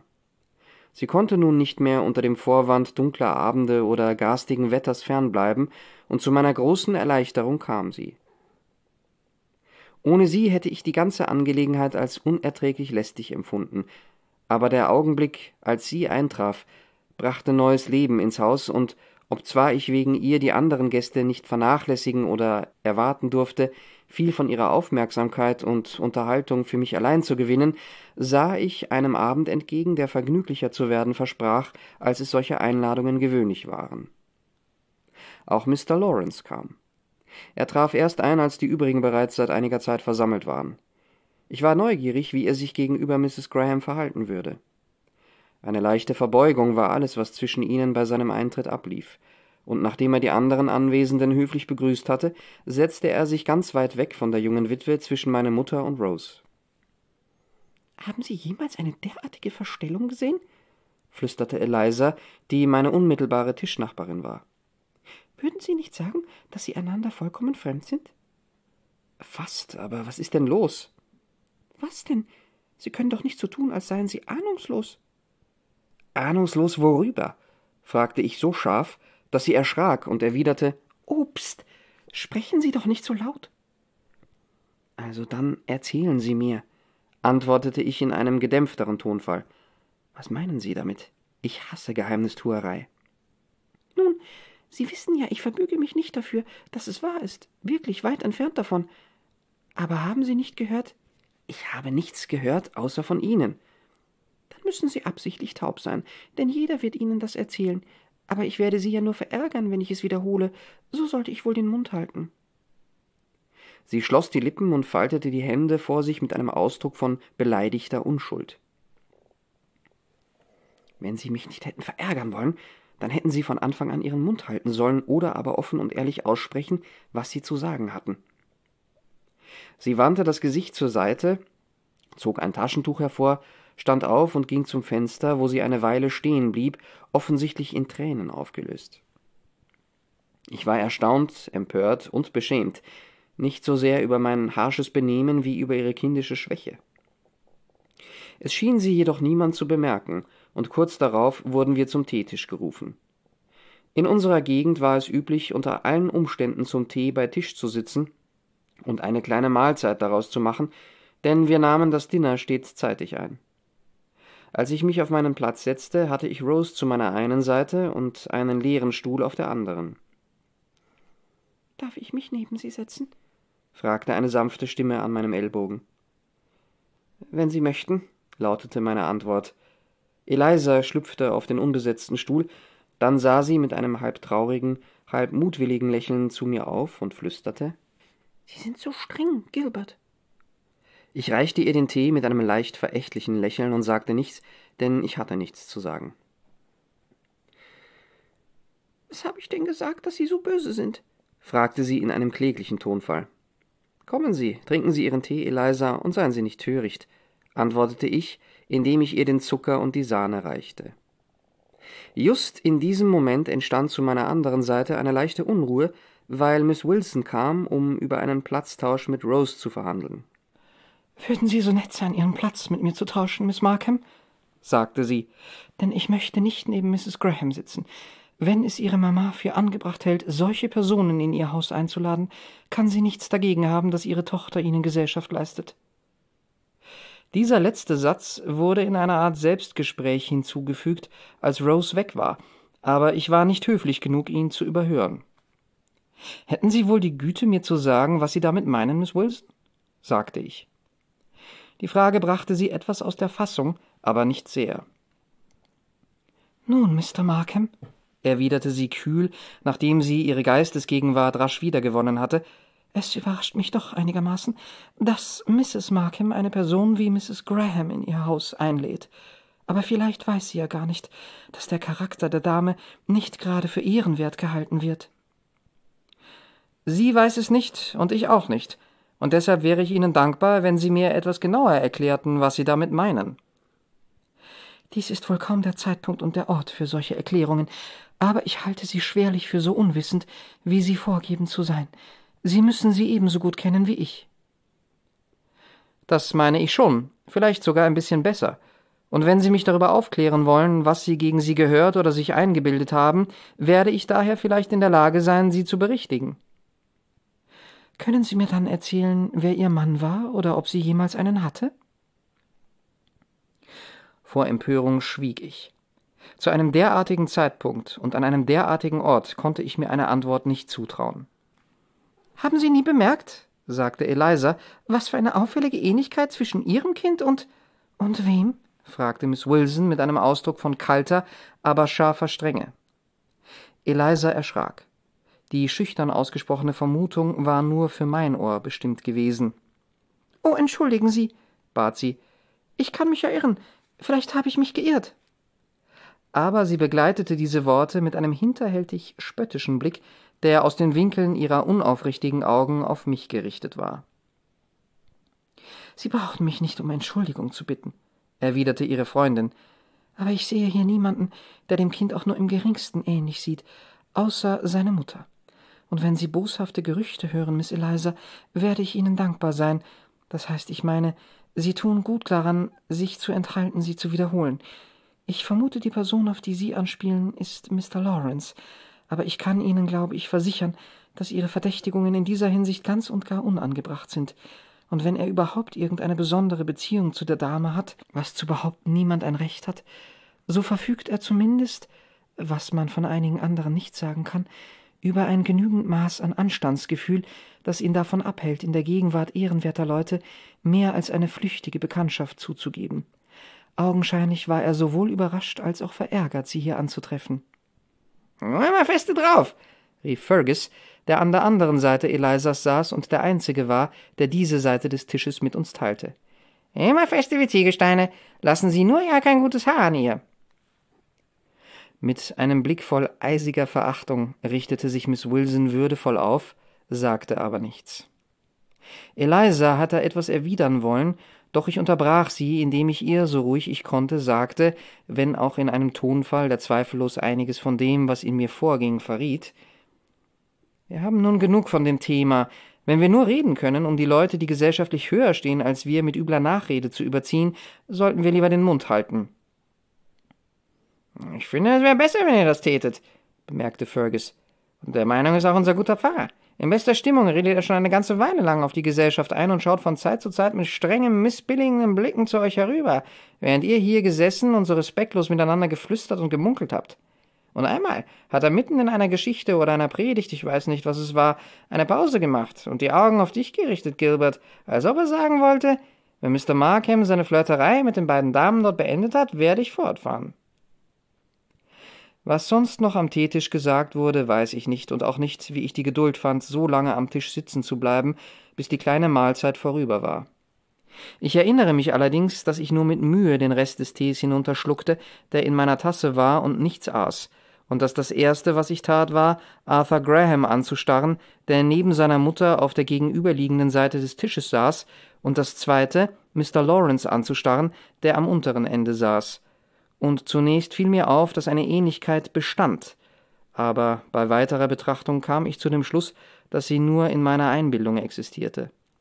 Zwar hatten beide feinere Gesichtszüge und einen zarteren Knochenbau, als es gemeinhin bei den meisten Vertretern des raueren Geschlechts der Fall ist, und Lawrences Gesichtsfarbe war blass und hell und Arthurs von zarter Durchsichtigkeit, aber Arthurs winziges Stupsnäschen konnte wohl nie so lang und gerade werden wie Mr. Lawrences Nase, und die Form seines Gesichts, das zwar nicht voll genug war, um rund und zu fein zu dem kleinen, mit einem Grübchen versehenen Kinn zulief, um viereckig genannt zu werden, konnte sich doch nie zu dem länglichen Oval der des anderen auswachsen, während das Haar des Kindes offensichtlich von einer helleren, wärmeren Farbe war, als sie das des älteren Herrn jemals gehabt hatte, und seine großen, klaren blauen Augen, ob zwar zuweilen von einem frühreifen Ernst, waren den scheuen, haselnußbraunen Augen Mr. Lawrences ganz und gar unähnlich, aus denen die empfindsame Seele so misstrauisch hervorblickte, als sei sie stets bereit, sich vor den Kränkungen einer zu brutalen, zu andersartigen Welt wieder in sie zurückzuziehen.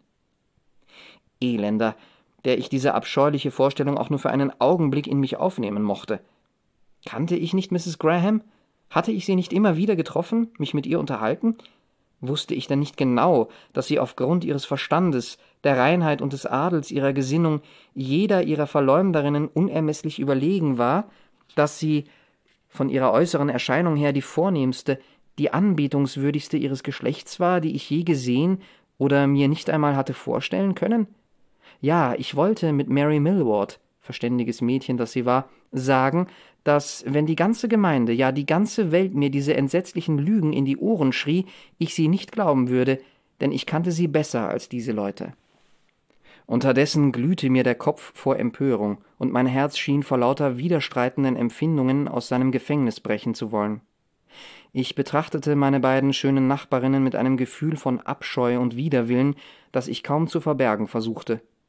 Schon neckte man mich von verschiedenen Seiten wegen meiner Geistesabwesenheit und ungalanten Vernachlässigung der Damen, aber ich kümmerte mich wenig darum.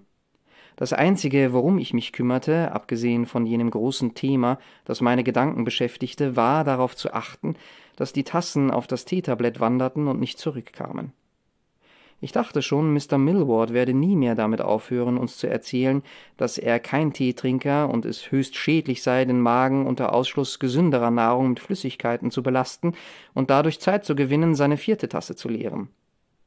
Schließlich war man damit fertig, und ich stand auf und verließ den Tisch und die Gäste ohne ein Wort der Entschuldigung, ich konnte ihre Gesellschaft nicht länger ertragen. Ich stürmte hinaus, um meinen Kopf in der balsamischen Abendluft abzukühlen und mich zu beruhigen oder meinen leidenschaftlichen Gedanken in der Einsamkeit des Gartens nachzuhängen.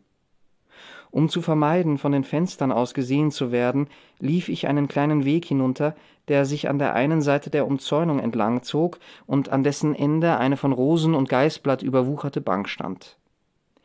Hier setzte ich mich hin, um über die Tugenden und Irrtümer der Dame von Wildfell Hall nachzudenken.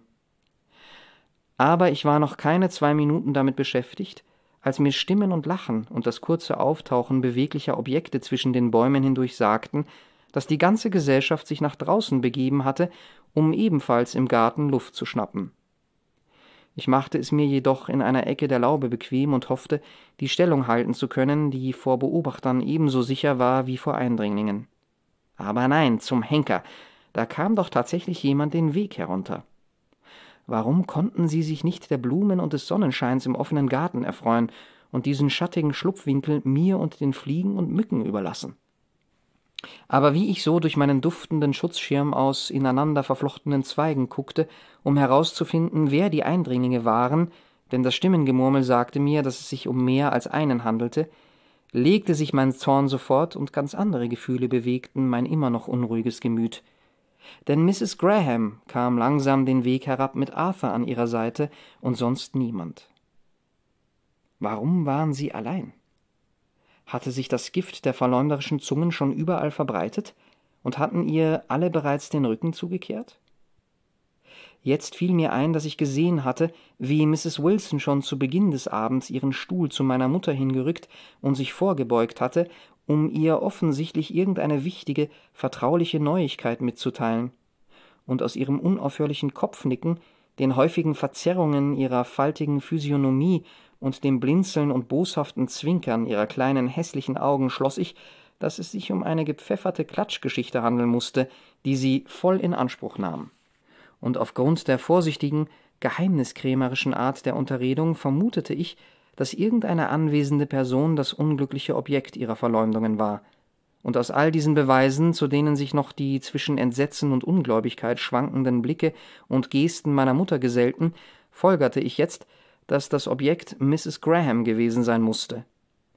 Ich erhob mich erst aus meinem Versteck, als sie fast das Ende des Weges erreicht hatte, damit sie mein Anblick nicht vertriebe.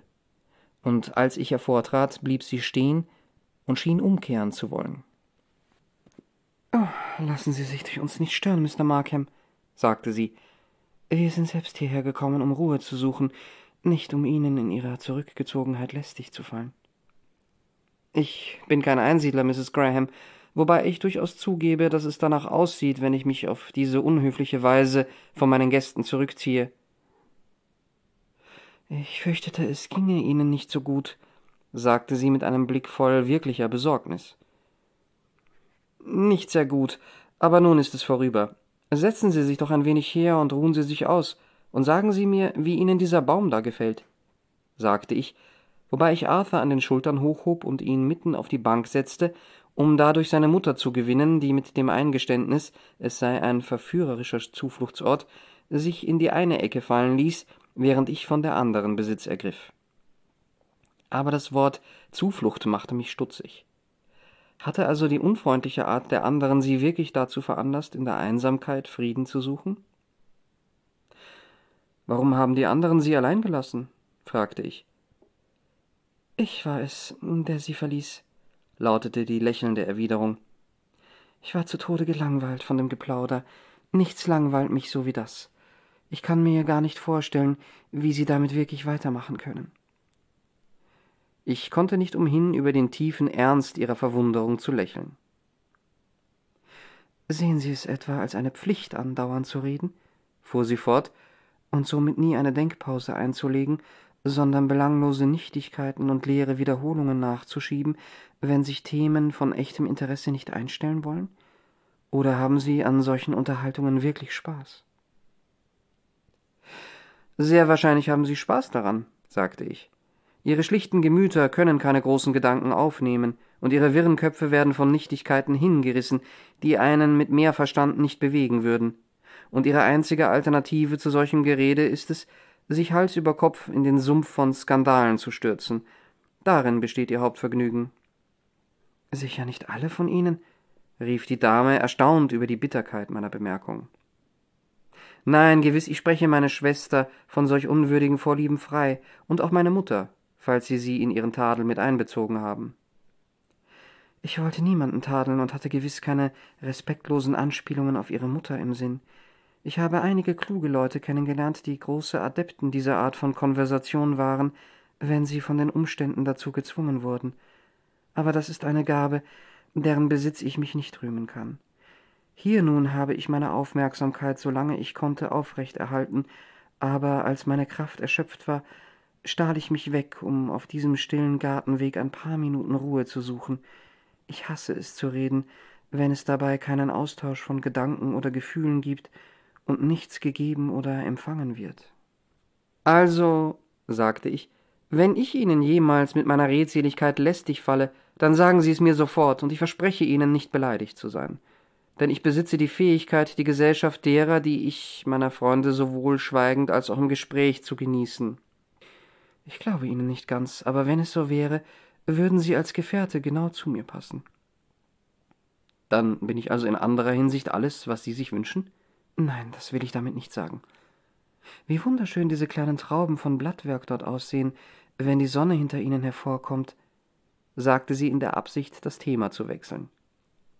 Und sie sahen wirklich wunderschön aus, dort, wo ab und zu die Sonnenstrahlen die horizontal durch das Dickicht von Bäumen und Büschen auf der gegenüberliegenden Seite des Pfads vor uns drangen, das staubige Grün belebten, und wie glänzend goldgrüne Tupfer waren die halbdurchsichtigen Blätter darüber hingestreut.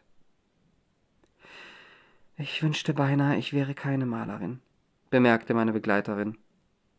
Warum das?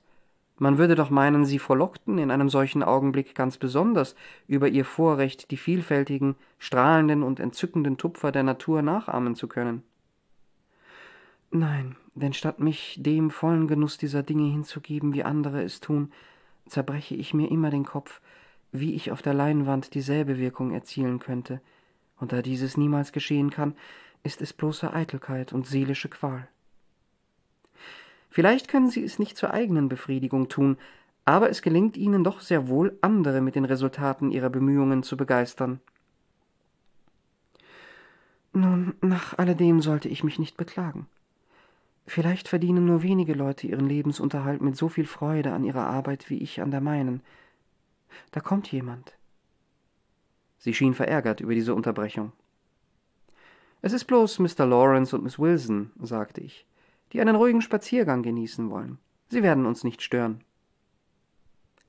Ich konnte den Ausdruck auf ihrem Gesicht nicht richtig deuten, aber ich war befriedigt, dass keine Eifersucht darin lag. Welches Recht hatte ich, danach zu suchen? Was für ein Mensch ist Miss Wilson? fragte sie.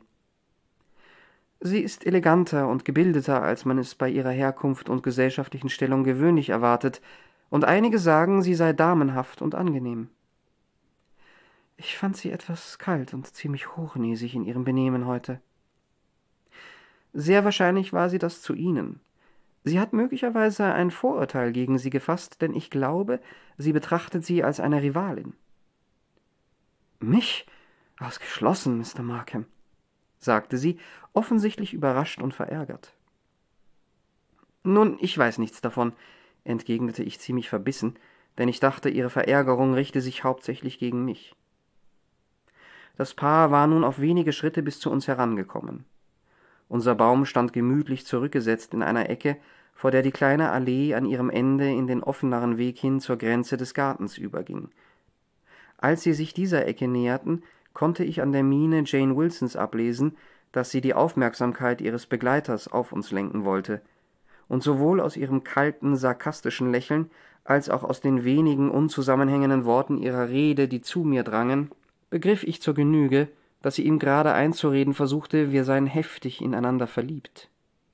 Ich bemerkte, dass er bis zu den Schläfen errötete, uns einen flüchtigen Blick im Vorübergehen zuwarf und weiterlief, wobei er ernst reinschaute, ihr aber anscheinend keine Antwort auf ihre Bemerkungen gab. Es stimmte also, er hatte gewisse Absichten auf Mrs. Graham, und wären sie ehrenhaft gewesen, wäre er nicht so eifrig bestrebt gewesen, sie zu verbergen. Sie traf natürlich keine Schuld, aber er war über alle Maßen verabscheuenswert. Während mir diese Gedanken durch den Kopf schossen, stand meine Begleiterin unvermittelt auf und sagte, indem sie ihren Sohn rief, Sie würden jetzt gehen, um die Gesellschaft wieder zu suchen, und sie gingen den Weg hinauf. Zweifellos hatte sie etwas von Miss Wilsons Bemerkungen gehört oder erraten, und es war deshalb nur zu verständlich, dass sie das Tete-a-Tete nicht länger fortsetzen wollte, insbesondere da in diesem Augenblick meine Wangen vor Empörung über meinen früheren Freund brannten, was sie vielleicht mit Schamesröte aus törichter Verlegenheit verwechselte. Dafür hegte ich noch zusätzlichen Groll gegen Miss Wilson und je mehr ich über ihr Verhalten nachdachte, desto inbrünstiger hasste ich sie. Es war spät am Abend, als ich mich wieder zu den anderen begab.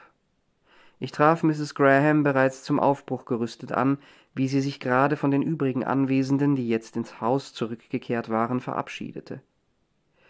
Ich erbot mich, nein, bat darum, sie nach Hause begleiten zu dürfen. Mr. Lawrence stand in diesem Moment gerade in der Nähe und unterhielt sich mit jemand anderem. Er sah nicht zu uns her, aber als er meine eindringliche Bitte hörte, hielt er mitten in einem Satz inne, um auf ihre Antwort zu lauschen, und sprach dann mit einem Ausdruck stiller Genugtuung weiter, als er feststellte, dass es sich um eine Ablehnung handelte. Eine Ablehnung war es zwar entschieden, doch nicht unfreundlich. Man konnte ihr nicht einreden, dass sie sich und ihr Kind in Gefahr begebe, wenn sie die einsamen Wege und Felder ohne Begleitung überquere. Es sei ja immer noch taghell, und sie werde niemandem begegnen, oder, wenn es der Fall sein sollte, seien die Leute ganz bestimmt friedfertig und harmlos.